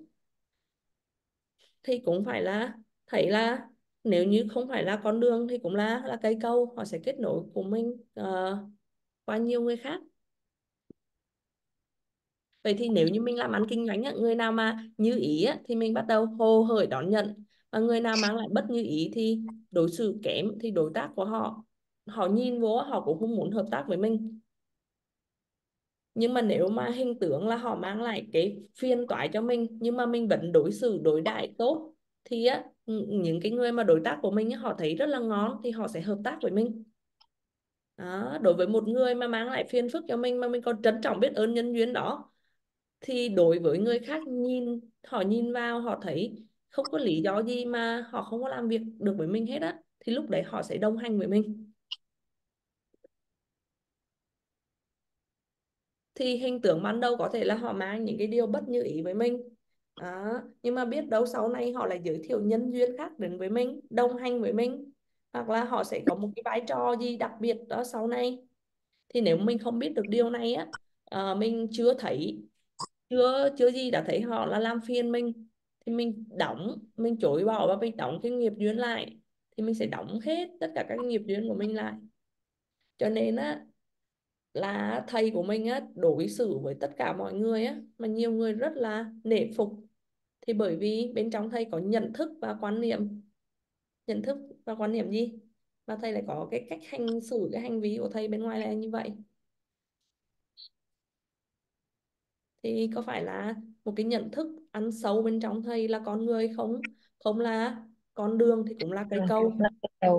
ừ. nếu là con đường thì đồng hành cùng mình. Còn nếu là cây cầu thì bắc qua con đường. Cho nên thầy mới thấy con người không có vấn đề và luôn luôn đón nhận nhân duyên. Đó và có một cái điều rất hay mà Khánh Trâm cũng áp dụng trong cuộc sống của mình á đó là thầy á chọn người chọn mình. Tức là ai đã chọn mình rồi á thì mình sẽ chọn người đó. Chọn người chọn mình. Ờ, chọn người chọn mình.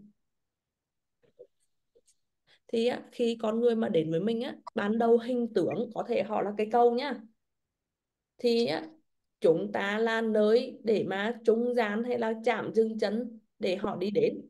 Bắc qua sau đó là họ đi đến nơi khác đúng không? Thì á, chúng ta là cái chạm dừng chân của con người sau đó họ đi đến nơi khác. Khi họ đến trạm dừng chân này ngôi nhà của mình á, mà bé nhỏ thì họ có dừng lại lâu không cả nhà? Họ có dừng lại cái trạm dừng chân của mình lâu không? Có cô ạ ừ, nếu mà mình mình mà cái chạm dừng chân của mình lớn ấy, thì họ mới dừng lại lâu. Còn nếu như cái chạm dừng chân của mình bé thì họ không có dừng lại lâu đúng không? Có phải là vâng nhân đến? Ừ có những nhân duyên đâu phải là họ họ đồng hành hết với mình họ chỉ là cây câu thôi á. Thì họ sẽ lưu trú ở nơi mình. Thì mình phải xây cái nhà của mình thật to thật rộng trước khi con người đến. Thì con người dạ. nó mới đến ở lại thoải mái và lâu dài hơn. Thì trong quá trình đó thì họ mới quan sát cách mà mình làm này. Nếu như mà họ thấy cái con đường này nó phù hợp với họ thì họ sẽ đồng hành cùng với với chúng ta. Còn nếu không á, thì họ biết ai đó phù hợp để đồng hành cùng với mình thì họ sẽ giới thiệu con người đến với mình đúng không? Vâng vậy đúng rồi ạ. Ừ. vậy thì có những người mà không có nơi nào để mà họ đi á không có cái nơi nào để mà họ đến dừng chân á thì á, họ thấy phù hợp thì họ sẽ xin đồng hành với mình. Hay là chỉ có người là họ ghé qua thôi. Đó, và họ cảm thấy phù hợp. Họ ghé qua xong họ thấy phù hợp và họ đồng hành với mình.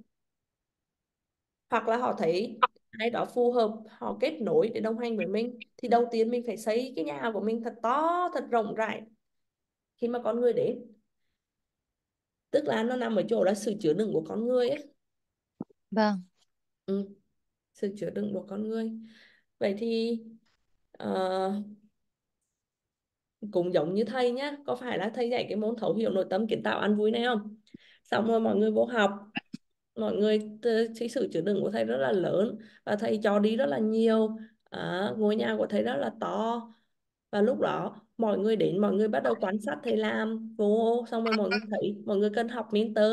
Vô mentor xong rồi cuối cùng mọi người thấy ô cái này thầy hay quá. Các kiểu rồi lại đồng hành với thầy ở nhiều dự án dự án này dự án kia đó.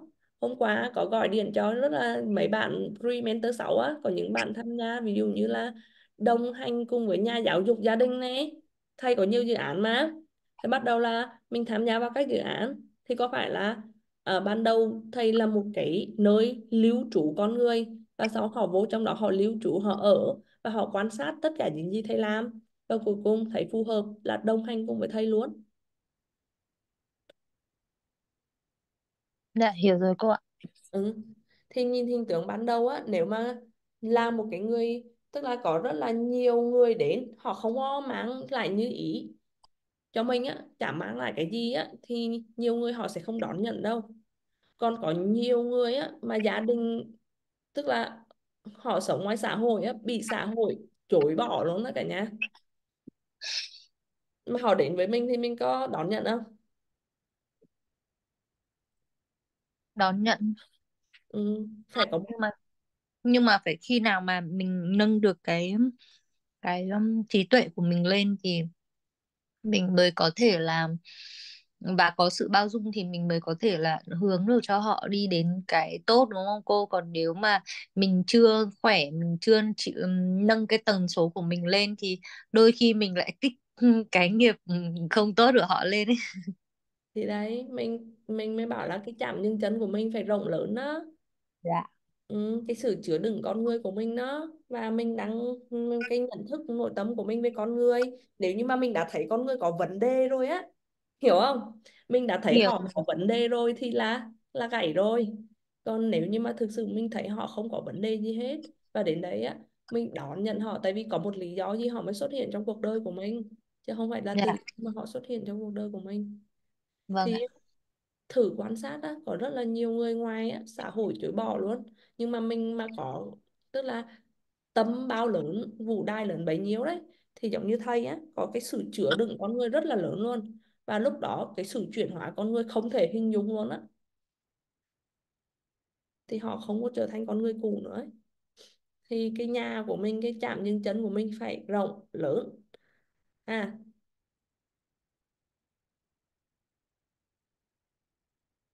nếu mà không có chứa đựng được con người thì làm sao mà hay quá kiến thức học cảm thấy ờ, sâu sắc quá cô ạ. Rồi kể cả nhá kể cả cái này cũng rất là hay luôn. Là khi mà đến đến học với quýt này tại vì trước đấy thì Khánh Trâm không có nghĩ những cái điều này đâu hồi xưa Khánh Trâm không có được cái nhận nhận thức này mà quan sát thầy. Lúc đó mình mới học và mình mới biết thầy thầy Toàn mà mình thấy ô cái ông thầy này hay vậy ta. Ông tức là con người đến á, kể cả những cái người rất là ừ, theo ngoài xã hội nói thì những người này ví dụ không giỏi này thứ nhất không có năng lực này thứ hai là cũng không không tốt đi. Ví dụ theo ngoài xã hội thì nó họ thấy con người có vấn đề á. Nhưng bố ông thầy mình hay thật ông tiếp nhận hết và cả nhà nhớ cái hình tượng cái ly nước chưa? Có phải thầy mình như một nguồn nước trắng không? Bắt đầu vâng. vô thì cái người kia thầy còn nói có những người mà họ à, họ sao ta? Có những người mà họ à, gọi là kiểu như không lấy đồng như một hòn đá. Là gì nhỉ? Tức là nói cái gì họ không tín ấy. Tức là nhưng mà sau này dần dần nó rót vào á rót vào từng chút từng chút một. Đó vậy thì khi mà họ cúi đầu trước đạo lý á cả nhà tức là họ tin cái đạo lý này á thì á, cái lòng của họ rất vững và không có thay đổi luôn. Hiểu dạ. Không à, hiểu cô ạ. Cho nên là con người đến á thật ra nếu như mà mình có tâm lớn này à, mình là một nguồn nước trắng vô hạn á thì con người ấy, mình thấy mình có nhận thức con người cũng không có vấn đề gì á thì bắt đầu á con người đến với mình á mình đón nhận hết tại vì có một lý do gì họ mới xuất hiện trong cuộc đời của mình. Nếu mà họ không tới thì sẽ có người khác tới. Dạ. Thì tương tự như vậy. À, lại có lại có um, động lực. Động lực để tiếp tục học tập. Đấy thì thì đó là cái nhận thức là đó là nhận thức về con người là con đường và cây cầu.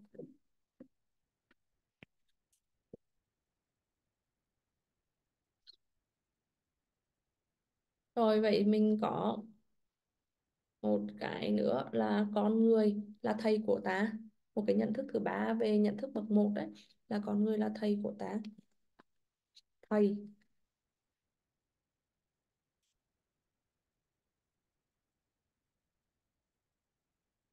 Tự nhiên học cái bài này xong rồi không có ghét con người nữa.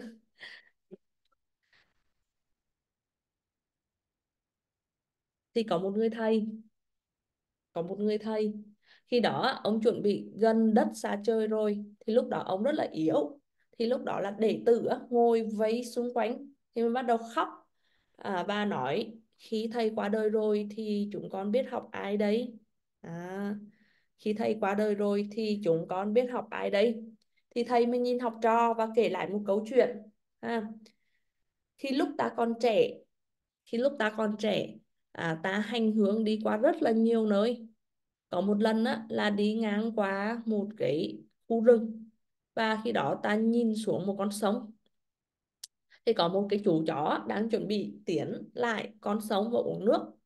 Thì mỗi lần chú chó tiến lại gần thì trên mặt nước á, sẽ hiện ra một con vật khổng lồ thì con chó nó giật mình và sủa.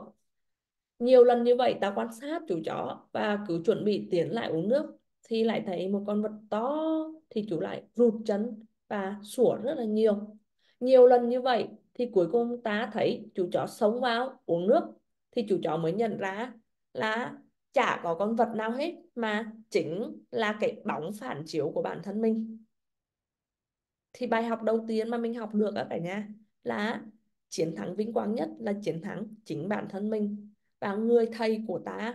Khi đó chính là chú chó. Sau rồi lần tiếp theo á, thì ông thầy này ông mới đến một ngôi làng. Thì ông kể như thế này, khi mà đang đến ngôi làng á, thì trong một trận, lúc đó là có một cái trận bão tuyết diễn ra, thì trời tối rồi nên là ta muốn tìm một cái nơi để nghỉ ngơi vài ngày, nhưng mà không có nơi nào mở cửa cả thì lúc đó ta nhìn thấy một cái tên trộm, một tên trộm đang nỗ lực cậy cửa để vô nhà. Nhưng mà làm nhiều lần, kết quả là không vào được ngôi nhà này. Lúc đó ta không biết hỏi ai nên mới hỏi tên trộm là có nơi nào để cho ta trú trọ lại không? Thì tên trộm trả lời rằng, hiện giờ đang có bão tuyết, không tìm được nơi ở trọ đâu.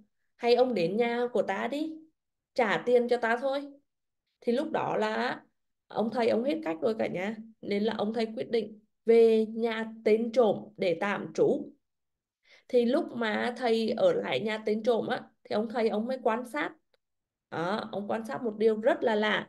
Đó là hàng ngày á tên trộm rất là nỗ lực để đi ăn trộm ở trong làng. Nhưng mỗi đêm về thì tên trộm bực bội vì không trộm được bất cứ cái thứ gì. Nhưng mà tên trộm á, luôn nói với ông thầy rằng ông hãy tin tôi đi ông hãy tin tôi đi ngày mai nhất định à, sẽ trộm được đồ cho ông xem. Thì hàng ngày á tên trộm đều kiên trì dù là bão tuyết càng lớn thì tên trộm càng nỗ lực.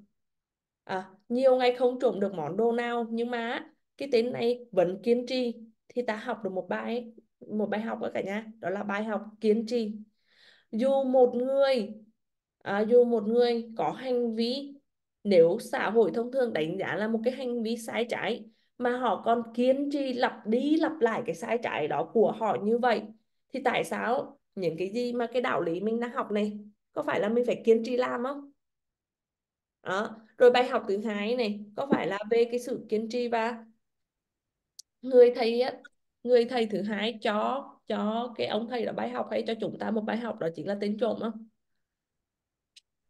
Đúng ạ ừ. rồi một lần nhá, một, có một lần thì á, ông thầy ông mới đi qua một ngôi chùa thì thấy một cái chú tiểu rất là nhỏ luôn à người thầy đỉnh lại và dạy cho chú tiểu một bài học gì đó thì khi lại gần thấy chú tiểu đang thắp nến, người thầy mới hỏi chú tiểu rằng, con có biết ngọn lửa đến từ đâu không khi đó chú tiểu mới thổi phụt cái ngọn lửa nến tắt đi và chú tiểu trả lời rằng nếu ông nói cho tôi biết ngọn lửa này đi về đâu, thì tôi sẽ trả lời cho ông biết lửa từ đâu đến.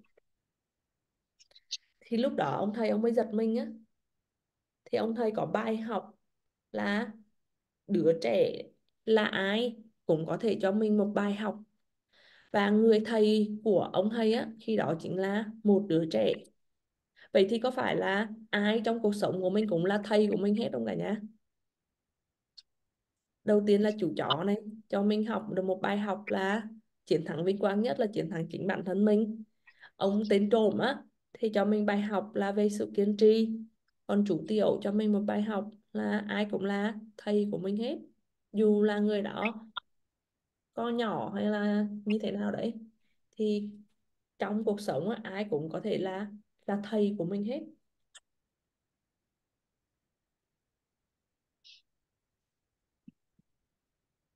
tuyệt vời quá quá ừ. vậy thì á, bình thường hàng ngày như Linh hay chia sẻ bài học tâm đắc ngộ ra này?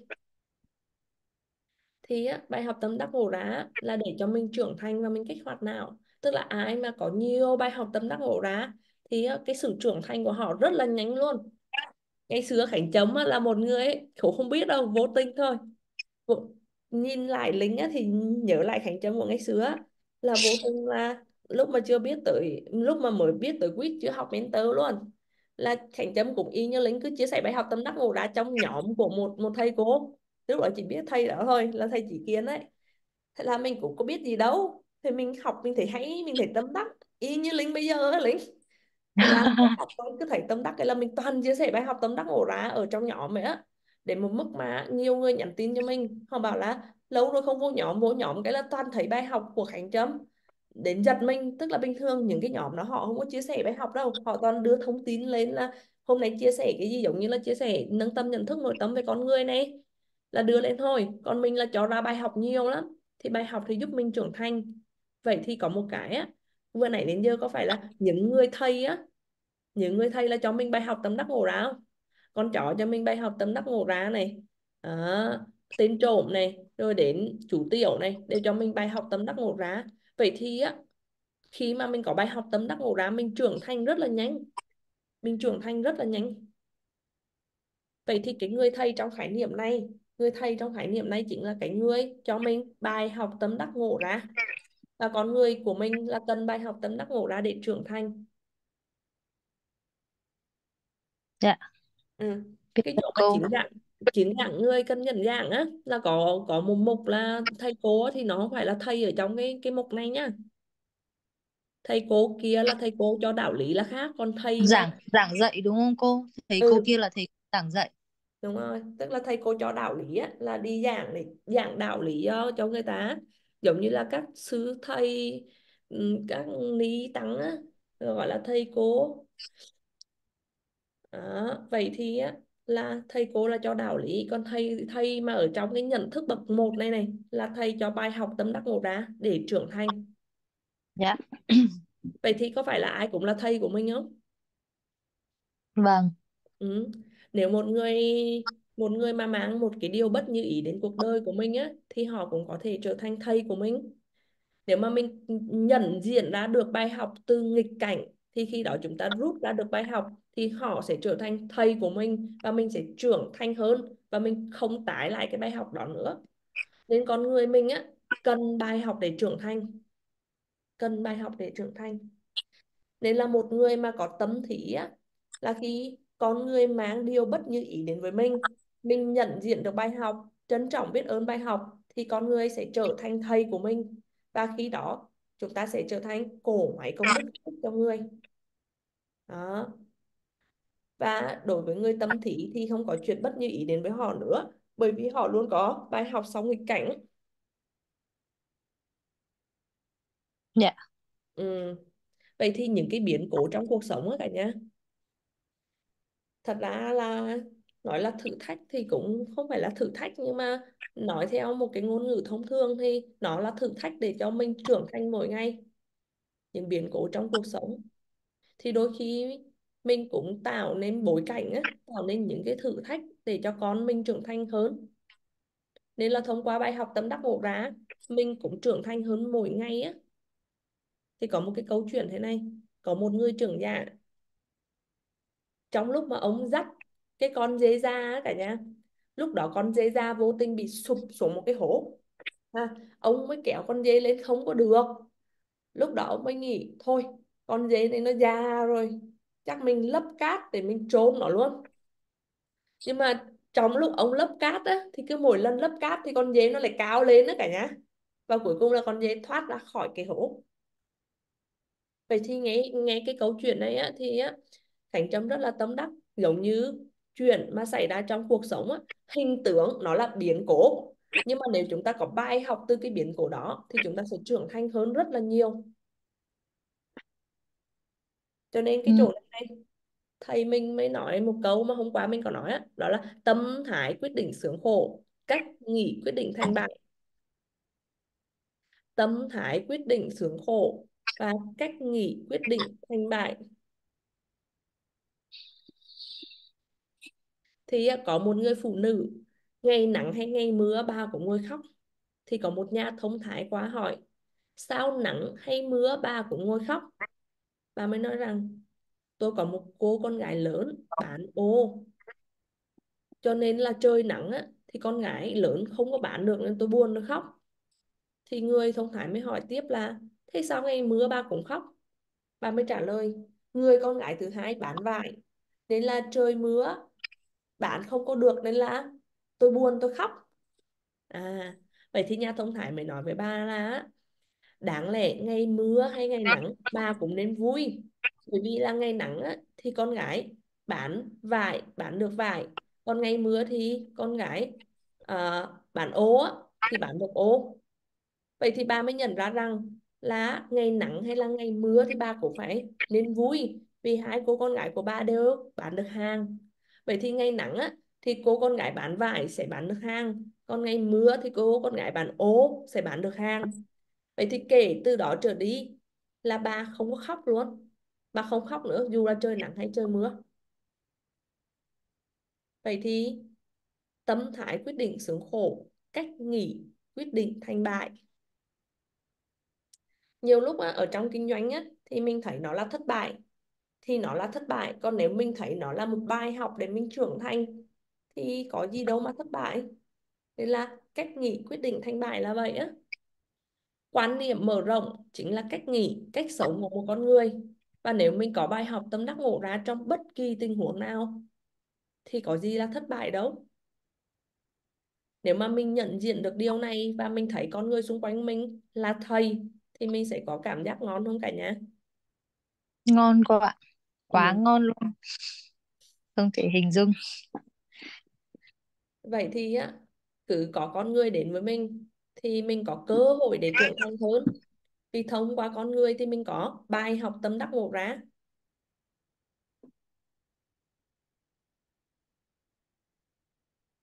Vậy thì á khi mà mình lắng nghe lắng nghe người khác á cả nhà có nhiều người họ chia sẻ um, chưa được tốt này hay gì đó mà mình vẫn lắng nghe người khác. Thì á kể cả là cái đợt này này mentor với master đang chia sẻ ba hệ quy chiếu á ba hệ quy chiếu bữa sau Khánh Trâm có nói với cả nhà là bữa sau cả nhà mua nghe á thì là trong khi chia sẻ ba hệ quy chiếu thì mọi người đều đang học hết mà đúng không? Thì mọi người đi chia sẻ thì sẽ có những người chia sẻ rất là hay rất là chạm. Và có những người chia sẻ nó cũng chưa có gọi là nó chưa có hệ thống được sơ đồ khái niệm nguồn trong đầu chia sẻ chưa được ngon lắm. Nhưng mà dạ. có một cái điều rất là hay đó là thầy bảo thế này. Thầy bảo với các các master các master là đi nghe hết, đi nghe nhiều người. Để làm gì? Trong cái quá trình nghe nhiều người chia sẻ như vậy, kể cả là hôm bữa, để nhị thân á, tức là đi học thì sẽ có để nhị thân. Tức là cái người mà bên cạnh mình cùng học với mình á, thì để nhị thân của Trâm á, là nói là không dám chia sẻ. Bởi vì là sợ mình, kiểu như sợ thế này, sợ thế kia. Nhưng mà thật ra là một lần mình chia sẻ ở đây là các master thôi nhá không nói là cái mình mình đang học thì mình không nói là mình đi chia sẻ hết mà. Tại vì các master đang học để cách chia sẻ. Thì có phải là đang nhìn người ta chia sẻ đó mình cũng có thể rút ra được bài học tâm đắc ngộ ra cho mình không? À cái đoạn này này là bạn ấy chia sẻ như vậy mình có một bài học là mình không không nên nói như vậy mình nên nói như thế này nên nói như thế kia đúng không cả nhà? Đúng rồi ạ. Ừ nó đều cho mình bài học tâm đắc ngộ ra hết. Và thầy bảo là thầy á rất là uh, tức là thầy khâm phục gọi là từ gì ta? Không phải khâm phục mà thầy rất nể những người mà biết lắng nghe.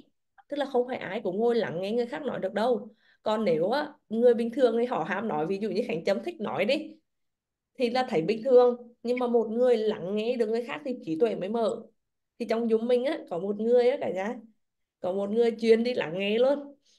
Mình thấy chúng nào cũng vô lắng nghe hết á mà lắng nghe rất là rất là hay là thầy Dương Mạnh Hùng này. Là thầy thầy toàn mình bảo là rất là nể những người mà biết lắng nghe. Đó. vậy thì á tất cả mọi thứ mà đến với mình đều cho mình bài học tâm đắc ngộ ra. Thì mình có cái tâm niệm ai cũng là thầy của mình. Thì dù họ chia sẻ cái gì thì mình cũng ghi được một cái điều tuyệt quý đúng không? Dạ đúng ạ. Mà có một cái khái niệm thế này này bài học tâm đắc ngộ ra là để cho mình trưởng thành. Cho nên là tốc độ phát triển của mình á, ví dụ như ông thầy mình á, là ông cho bài học tâm đắc ngộ ra liên tục luôn.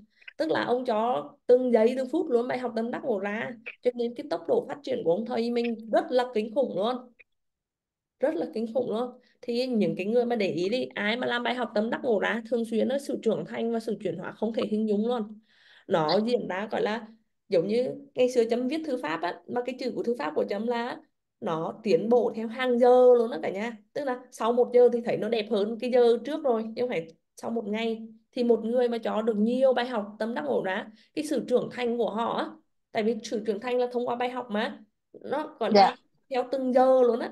Cái sự chuyển hóa giống như Linh những ngày này này Linh có thấy không? Mình có cái sự chuyển hóa theo gọi là theo từng giây phút vậy á có luôn cô ạ. Nhiều khi mà thấy bài học nó đến mà mình không kịp ghi lại luôn đấy cô.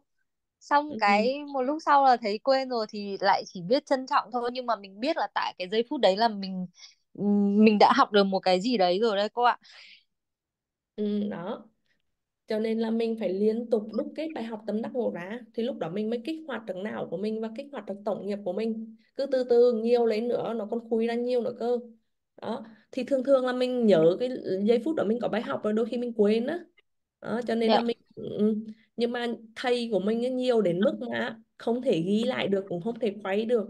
Còn nhiều khi mà học mentor ngày xưa người ta không có hiểu cái tầm quan trọng của bài học tâm đắc ngộ ra họ toàn là ngồi kiểu quay để trả bài tập cho có thì không có cái sự trân trọng biết ơn ở trong đó cái nguồn năng lượng ấy thì nó không phải là bài học tâm đắc ngộ ra nhưng mà như của lính ấy, là có cái nguồn năng lượng đấy cho nên là cái sự chuyển hóa nó nhanh lắm cái sự trưởng thành nó nhanh lắm. Dạ Ờ, biết ơn cô. Nên là cô Mai Hương cũng là bài học tâm đắc ngộ ra chia sẻ nha. Cô Mai Hương cũng hay chia sẻ ở trong Zoom này là bài học tâm đắc ngộ ra đó.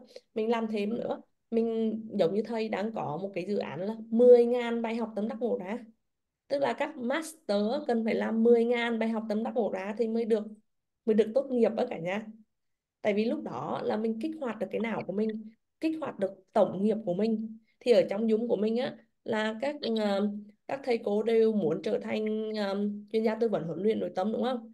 Nhớ cái bài học vô sư trí không? Thì sau này mình cần phải đi chia sẻ thì mình phải lôi được cái trí tuệ vô sư trí ra. Đó thì mình cần phải có bài học tâm đắc ngộ ra để kích hoạt não kích ôi hoạt em được em được trải nghiệm ờ, em được trải nghiệm cái khi mà mình không mình không sắp đặt trước mà uh, khi nói chuyện hoặc tư vấn cho một ai đó hoặc nói chuyện ấy mà để cho cái tự nhiên biết ấy, tự nhiên biết nói gì ấy, hay lắm ạ em được trải nghiệm vài lần rồi.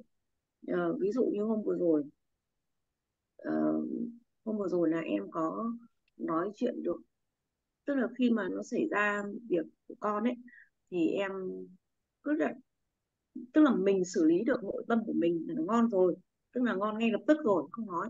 Nhưng mà em cứ đặt câu hỏi là làm nào để giúp được con ấy? Thì em cứ đặt câu hỏi như vậy thôi cứ đặt câu hỏi làm nào để giúp được con. Thì đến sau thì sau khoảng 3 ngày sau ha, sau 3 ngày thì em cũng có cảm giác là cái để cho con nó có cái độ bình tĩnh hơn ấy. Thì em bảo con nên ngồi đây mẹ nói chuyện với con một tí. Thì ngay cái lúc em bảo là con nên ngồi đây để mẹ nói chuyện với con một tí em chưa biết nói gì đâu. Nhưng chỉ biết là mình định định hướng cho con là vài độ khoảng ba cái gạch đầu dòng thôi xong lúc đấy em cảm thấy đủ độ để để có thể nói được với con ấy thì mẹ em bảo con ngồi nói chuyện mẹ nói chuyện với con một tí thế là em tuôn ra một tràng mà nó rất là logic nó nó rất là thiết thực mà chỉ ngắn gọn trong vòng tầm 10 đến 15 phút thôi. Nhưng mà em cảm giác là em rất là hài lòng với tất cả những cái, cái nội dung mà mình muốn nói với con ấy. Tự nó nó khui hết ra một mạch luôn. Đấy, hoặc là trước cách đây khoảng năm ngoái thì em cũng gọi là gỡ rối cho một bạn ấy.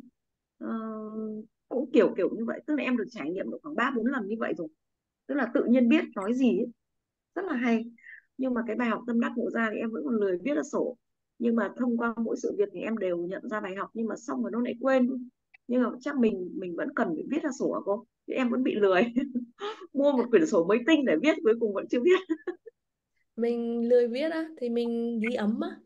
Ghi âm lại. À, ngay cái lúc đó có bài học và bắt đầu mình ghi âm lại. Tại vì mình mình nói ra tức là mình nói ra cái bài học đó bắt đầu nó đưa vào cái tổng nghiệp của mình. Tức là xong rồi có thể là mình quên mình buông nó luôn. Tức là buông về ừ, trạng thái cân bằng luôn. Đó ngày xưa Khánh Trâm có rất là nhiều bài học. Bắt đầu là ừ, hồi đó là Khánh Trâm toàn tương tác với thầy không à? Tức là sẽ cầm cái điện thoại lên bắt đầu quay video.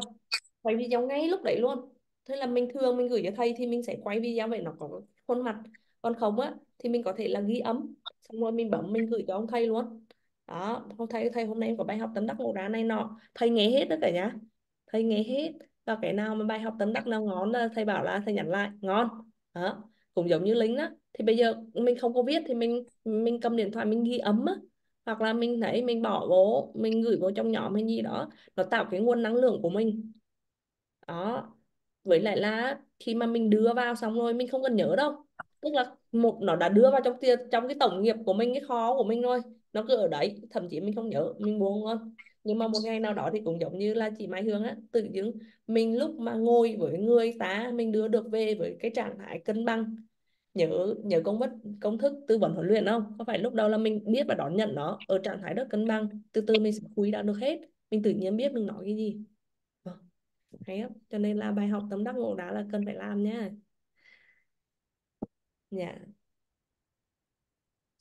Cô biết không hôm hôm trước Linh ờ, đi um, đi tập thể dục ấy thế là mi ờ, gặp một cái bạn bạn ấy trẻ lắm bạn ấy như kiểu chỉ vừa mới học xong cấp 3 thôi ấy. Thế bạn ấy đứng bên cạnh Linh thế xong rồi bạn ấy nghe cái cuộc điện thoại thì đấy là điện thoại của mẹ bạn ấy xong bạn ấy khuyên mẹ bạn ấy là bây giờ nhá khi mà nghe như thế thì cần phải phải bình tĩnh lại, phải hít sâu. Nghe thì biết nó là như thế thôi. Thế xong rồi đi sang làm cái việc khác để cho cái năng lượng của mình nó cân bằng. Trời Linh bảo, trời ơi, sao mà mà mà lại có thể giỏi như vậy ấy. và lúc đó là Linh thấy là đúng là không phải là là quan trọng là mình sống bao nhiêu lâu á cô, mà quan trọng là khi nào mình ngộ ra ấy. Một cái người mà trẻ tuổi như vậy mà họ đã cống hiến gánh vác, họ đã ở bên cạnh và giúp đỡ cho người khác ừ, về cái phần nội tâm như vậy ấy, thì Linh thấy là đúng là nó nó không thể thể hình dung được là sau này bạn ấy sẽ trở thành người như thế nào ấy. Với ờ, với cả đợt này Linh cũng hay vào TikTok. Thế thì Linh vào TikTok thì như mọi người thì mọi người bảo là ui trong cái đấy không có một cái gì hay ho cả. Thế nhưng mà mình bảo là tại sao? Linh cứ có một cái thắc mắc là tại sao lại có những người mà họ họ thành công như vậy họ họ có cái giá trị gì mà mà người khác đang nhận được hay không? Mà sao hay là chỉ là vì nó nhảm nhí mà mà như vậy ấy, thì Linh có nghe những cái bạn những cái người mà thành công ở trong cái lĩnh vực đấy họ nói chuyện ấy thì hầu như là người nào cũng nói một câu là họ rút ra được một cái bài học gì đấy sau mỗi một một cái điều không may hoặc là bất như ý đến với mình ấy cô và họ thay đổi. Thế là tự dưng Linh bảo ôi nếu như mà mình thực sự mình mở lòng ấy thì mình thấy ở đâu mình cũng có được bài học và ở đâu mình cũng cũng cũng um, cũng học hỏi được người này người kia. Đúng là kiểu con người là là thầy ấy cô. Chứ không phải là kiểu là mình phải vào trường lớp hay là mình phải vào một cái cái gì đấy nhất định là phải như thế thì mình mới mới giỏi hay là mình mới chuyển hóa được. Nói chung đúng là mấy, mấy ngày hôm nay thật sự là những cái gì mà mình học được ở ở ở cái lộ trình 169 ngày này Linh đi Linh quan sát là Linh thấy ô nó nó diễn ra trong đời sống của mình hàng ngày hàng giờ luôn đấy cô ạ. Ừm, thì nó phản ánh nó nó đúng nó đúng là như vậy đó đó. Và và khi mà mình quan sát được người khác mà cho mình bài học tâm đắc ngộ ra thật ra cuộc sống này thật ra một người ấy mà có sự trân trọng biết ơn cuộc sống á thì từng giây từng phút của họ đều có bài học tâm đắc ngộ ra. Một người mà có lòng trân trọng biết ơn cuộc sống á thì từng giây từng phút của họ đều có bài học tâm đắc ngộ ra.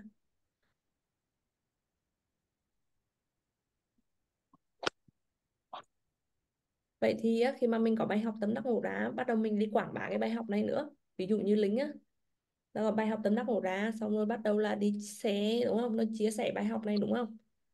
Dạ. đâu á mình sẽ gọi được tổng nhận thức của mình á cả nhà. Còn nếu trong cuộc sống á mình không có bài học tâm đắc ngộ ra trong mỗi từng giây phút của cuộc sống trong từng cái bối cảnh á từng bối cảnh của cuộc sống á mà mình chỉ tập trung vào những điều không tốt thôi á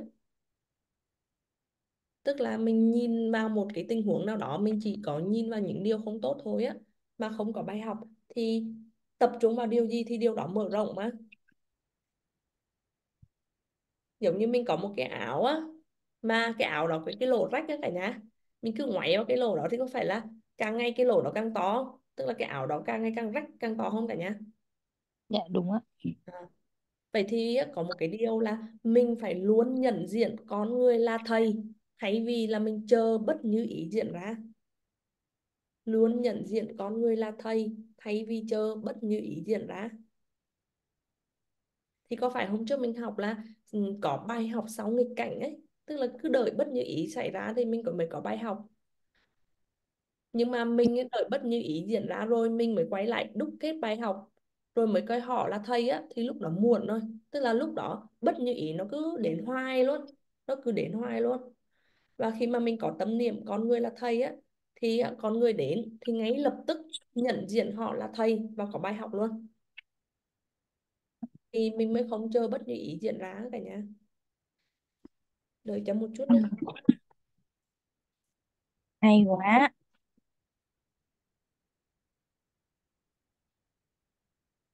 Đó.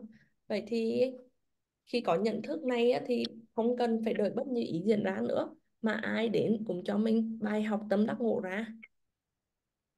Con người là thầy của ta, con người cho ta bài học để trưởng thành.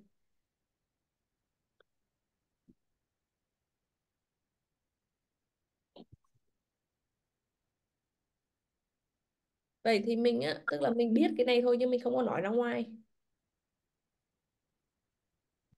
Tức là mình biết cái điều này thôi chứ mình không có nói ra ngoài. Tại vì á, nếu mà mình nói cái nhận thức này ra ngoài cho người khác biết á thì con người á khi mà họ chưa học trí thức này này họ chưa có nhận thức nội tâm á, thì họ sẽ láo cá cả nhá.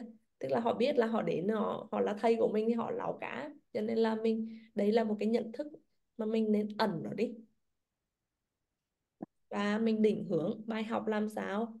Tức là tất cả những cái bài học mà mình rút ra bài học tấm đắc ngộ ra thì mình phải định định hướng cái bài học đó làm sao? Để bài học hướng đến giàu toàn diện. Và những cái bài học mình đúc kết đó, đều xung quanh bốn khía cạnh là nội tâm sức khỏe mối quan hệ và tài chính. Và xung quanh của chúng ta sẽ trở thành chín dạng người cần nhận dạng á. Thì trong tương lai của mình cả nhà mình có khả năng trở thành người thầy lớn là trí tuệ thông thái khôn ngoan và uyên bác hơn á. Dạ. Ừ cô ý, ý là ra họ, họ tức là khi khi mà người khác biết là con người là thầy của mình thì họ nấu cá là như nào em chưa hiểu ý chỗ này ừ. tức là thế này có phải là nếu như mà nhiều người chưa học được trí thức nội tâm á chưa nâng được tầng nhận nhận thức nội tâm á nâng tầng bậc nhận thức nội tâm á thì có phải là nếu như mà họ biết được là à mình là thầy đây ví dụ như nha trong gia đình của Khánh chấm đi là có một mình Khánh chấm học được tri thức này và biết về tri thức này đó. nhưng mà nhiều người họ chưa học họ chưa biết ở ngoài xã hội họ rất là láo cá luôn họ bảo là à, ví dụ như họ đến với mình mà họ biết là mình có một cái nhận thức là con người tất cả ai đến với mình dù là những người mang bất như ý đến cho mình hay là như ý hay là cái không bất như ý không như ý họ đều là thầy của mình bởi vì là uh, cho mình bài học tâm đắc ngộ ra mà tức là tất cả những ai nhân duyên đến với cuộc đời mình đều là thầy của mình. Thì đối với những người mà chưa học trí thức nội tâm á họ biết được điều đó thì họ sẽ láu cả. Tức là họ láu cả. Tao á tao là thầy của mày đấy. Hiểu không? Ví dụ mình làm một cái gì đó xong bảo tao là thầy của mày đấy. Tức là nếu mà họ họ chưa có nhận thức hết bao chung họ chỉ có một cái họ biết là họ biết là họ là thầy của mình thì họ sẽ lấu cả nắm được không em cô em em thấy như này ấy cô. Ừ. tại vì ngày xưa em có đi học nhân quả ấy. Ừ. thế xong rồi cái um, cái hồi đó là bọn em chỉ học học về nhân quả thôi chứ cũng kiểu không không được học toàn diện như thế này. Thế thì biết là mọi thứ đến từ mình đúng không?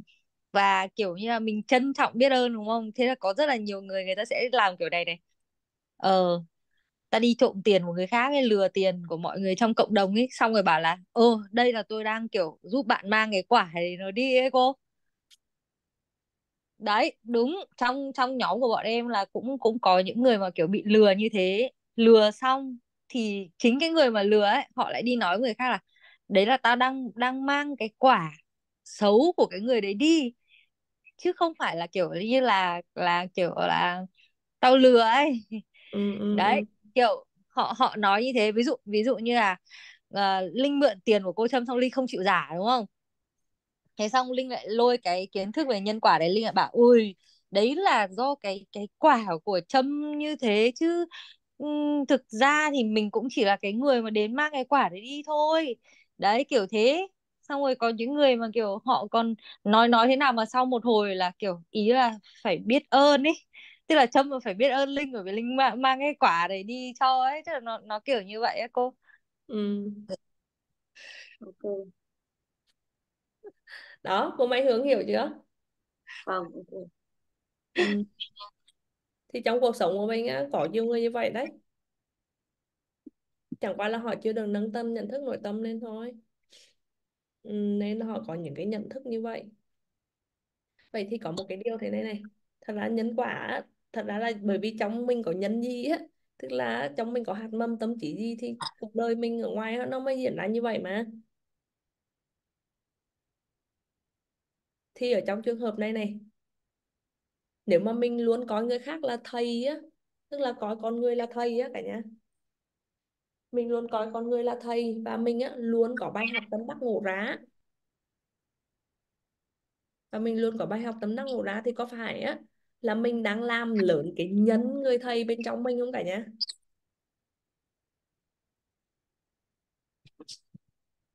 dạ. Đúng không? Này đúng ạ. khi mà mình á luôn coi con người là thầy thì mình luôn làm lớn bài học tâm đắc ngộ ra thì á, mình đang làm lớn cái nhân người thầy bên trong chính mình á.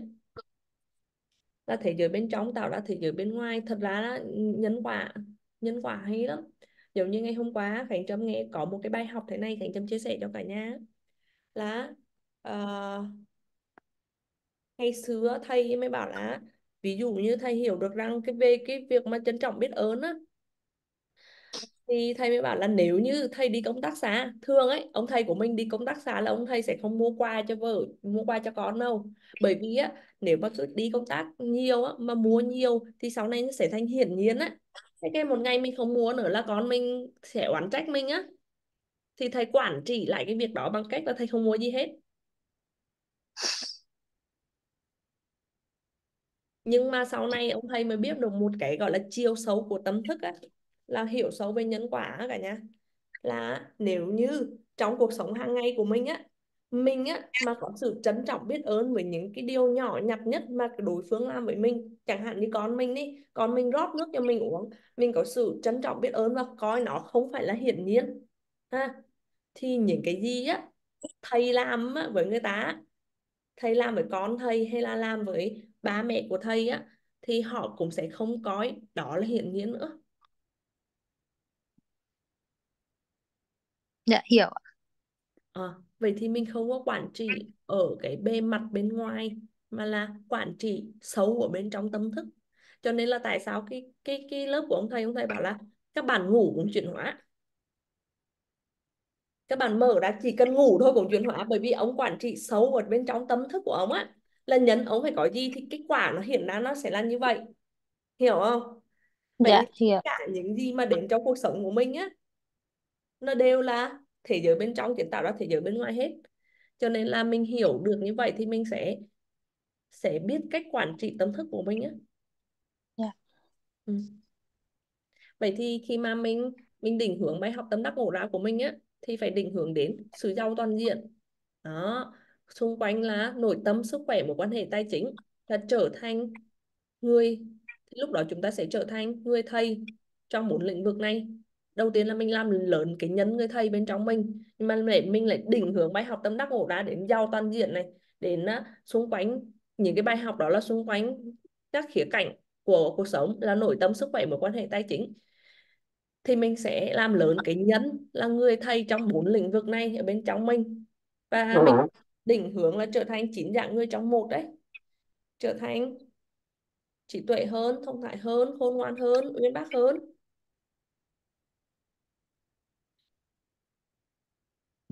được không? Mình vậy là mình học được này. Cổ máy công đức phước đức này con đường cây cầu người thầy này.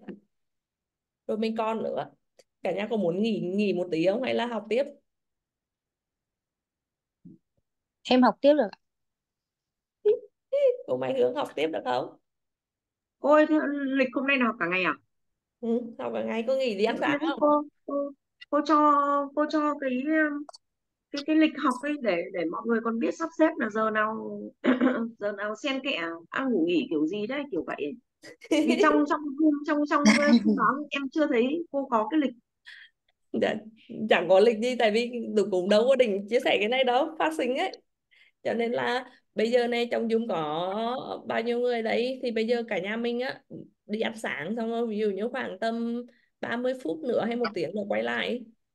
Quay lại học mình học đến trưa đến, đến ví dụ tầm khoảng tầm 9 giờ 10 giờ đó mình nghỉ một xíu mình nghỉ 15 phút xong mình học đến trưa thì tầm 10 giờ 11 giờ mình nấu cơm ăn ăn nó vô học tiếp. Thế thôi mình nhanh nhanh hôm nay để học à. Xong rồi mình cùng nhau nghỉ ngơi ăn uống xong rồi mình lại học tiếp. Thế bây giờ cô cứ cho ra một cái cố định ra một cái lịch đi. Ví dụ bây giờ là bở- nghỉ đến 7 giờ vào học khoảng hay là hay là mấy giờ đấy này? Xong để để để mọi người ghi vào xong đến lúc giờ đấy là tự giác vào học chẳng hạn dạ. Bây giờ Vậy thì, bây giờ á, cô cô cho kế hoạch luôn nào trong ngày nào. dạ. Bây giờ mình học ừm, vậy thì bây giờ mình à, nghỉ đến 7 giờ 30 mình vô học nhá Ok này 7 giờ 30 này, học đến mấy giờ? để em cũng phải viết lại mới nhớ được Đúng rồi, cô để mọi người sắp xếp giờ ăn giờ ngủ giờ tranh thủ làm gì đấy. 7 giờ 30 vào học. Mình sẽ học trong vòng 3 tiếng ấy là 7 giờ 7 giờ 30 30. 8 giờ 30 đến 9 giờ 30 được chưa? 9 giờ 30 mình sẽ nghỉ nghỉ một xíu. Mọi người đi nấu cơm đi. Thì khoảng tầm á 10 giờ mình vô học cho đến 12 giờ đúng không cả nhà? Sau 12 giờ mình nghỉ. Mình nghỉ cho đến khoảng tầm 13 giờ 30 đi. Nghỉ một tiếng rưỡi. Ừ. trong ngủ trưa nữa chứ xong rồi, cho đến học đến là 3 tiếng là 14 rưỡi 15 rưỡi 16 rưỡi, là 16 giờ 30 đúng không? 16 giờ 30 mình nghỉ, cho đến 17 giờ 30 mình vô mình học. Hoặc là 18 giờ mọi người nấu cơm, ăn cơm á 18 giờ cũng được. Là 6 giờ tối á 18 giờ đi. 18 giờ bắt đầu mình học cho đến khuya luôn, đến giờ này ăn uống gì nữa, đến nghỉ luôn hết thống nhất giờ này nha. 18 giờ học. ừ 18 giờ học. Mình nghỉ một tiếng rưỡi tắm rửa ăn uống. Vâng. xong rồi trò chuyện với chồng. Đấy bài học tâm đắc rồi vậy thì á, bây giờ này nãy á, vừa nãy đến giờ mình có một số nhận thức về bậc một về con người là cổ máy công đức phước đức con đường cây cầu với là người thầy là ba cái nhận thức nội tâm bậc một về con người. Chút xíu nữa mình sẽ học về mượn sức trợ lực này. À, mình học về à, một số nhận thức nội tâm về con người nữa. Sau đấy là đến khi mình học xong nhận thức nội tâm này là mình sẽ quay về là bảy bộ thí cả nhà. Mình học bảy bộ thí. Thì mình sẽ học nguyên ngày hôm nay là như vậy. Học đến khuya khi nào học xong thì thôi nghỉ học sớm nghỉ sớm học muộn nghỉ muộn thì từ 6 giờ trở đi là bắt đầu xong hết việc rồi mình cố lập bối cảnh lại mình nghe nha Dạ. vậy thì bây giờ đi nghỉ ngơi đi ăn sáng đi tranh thủ ăn sáng nhé cả nhà. Linh ăn rồi. Linh ăn rồi học. Linh bây giờ bây giờ sẽ bây giờ sẽ xuống uh, chuẩn bị cho mọi người vậy. Biết ơn cô. dạ làm bài học tâm đắc ngộ ra nha vậy nha cả nhà. Có gì um, bảy rưỡi vô em ở Zoom ha. Rất là biết ơn sự hiện diện của cả nhà. Biết ơn à, cô à, Mai Hương Linh với lại là thầy Hùng. Biết ơn Dạ. cô, dạ. Biết ơn Linh, biết ơn thầy Hùng. Để em kết thúc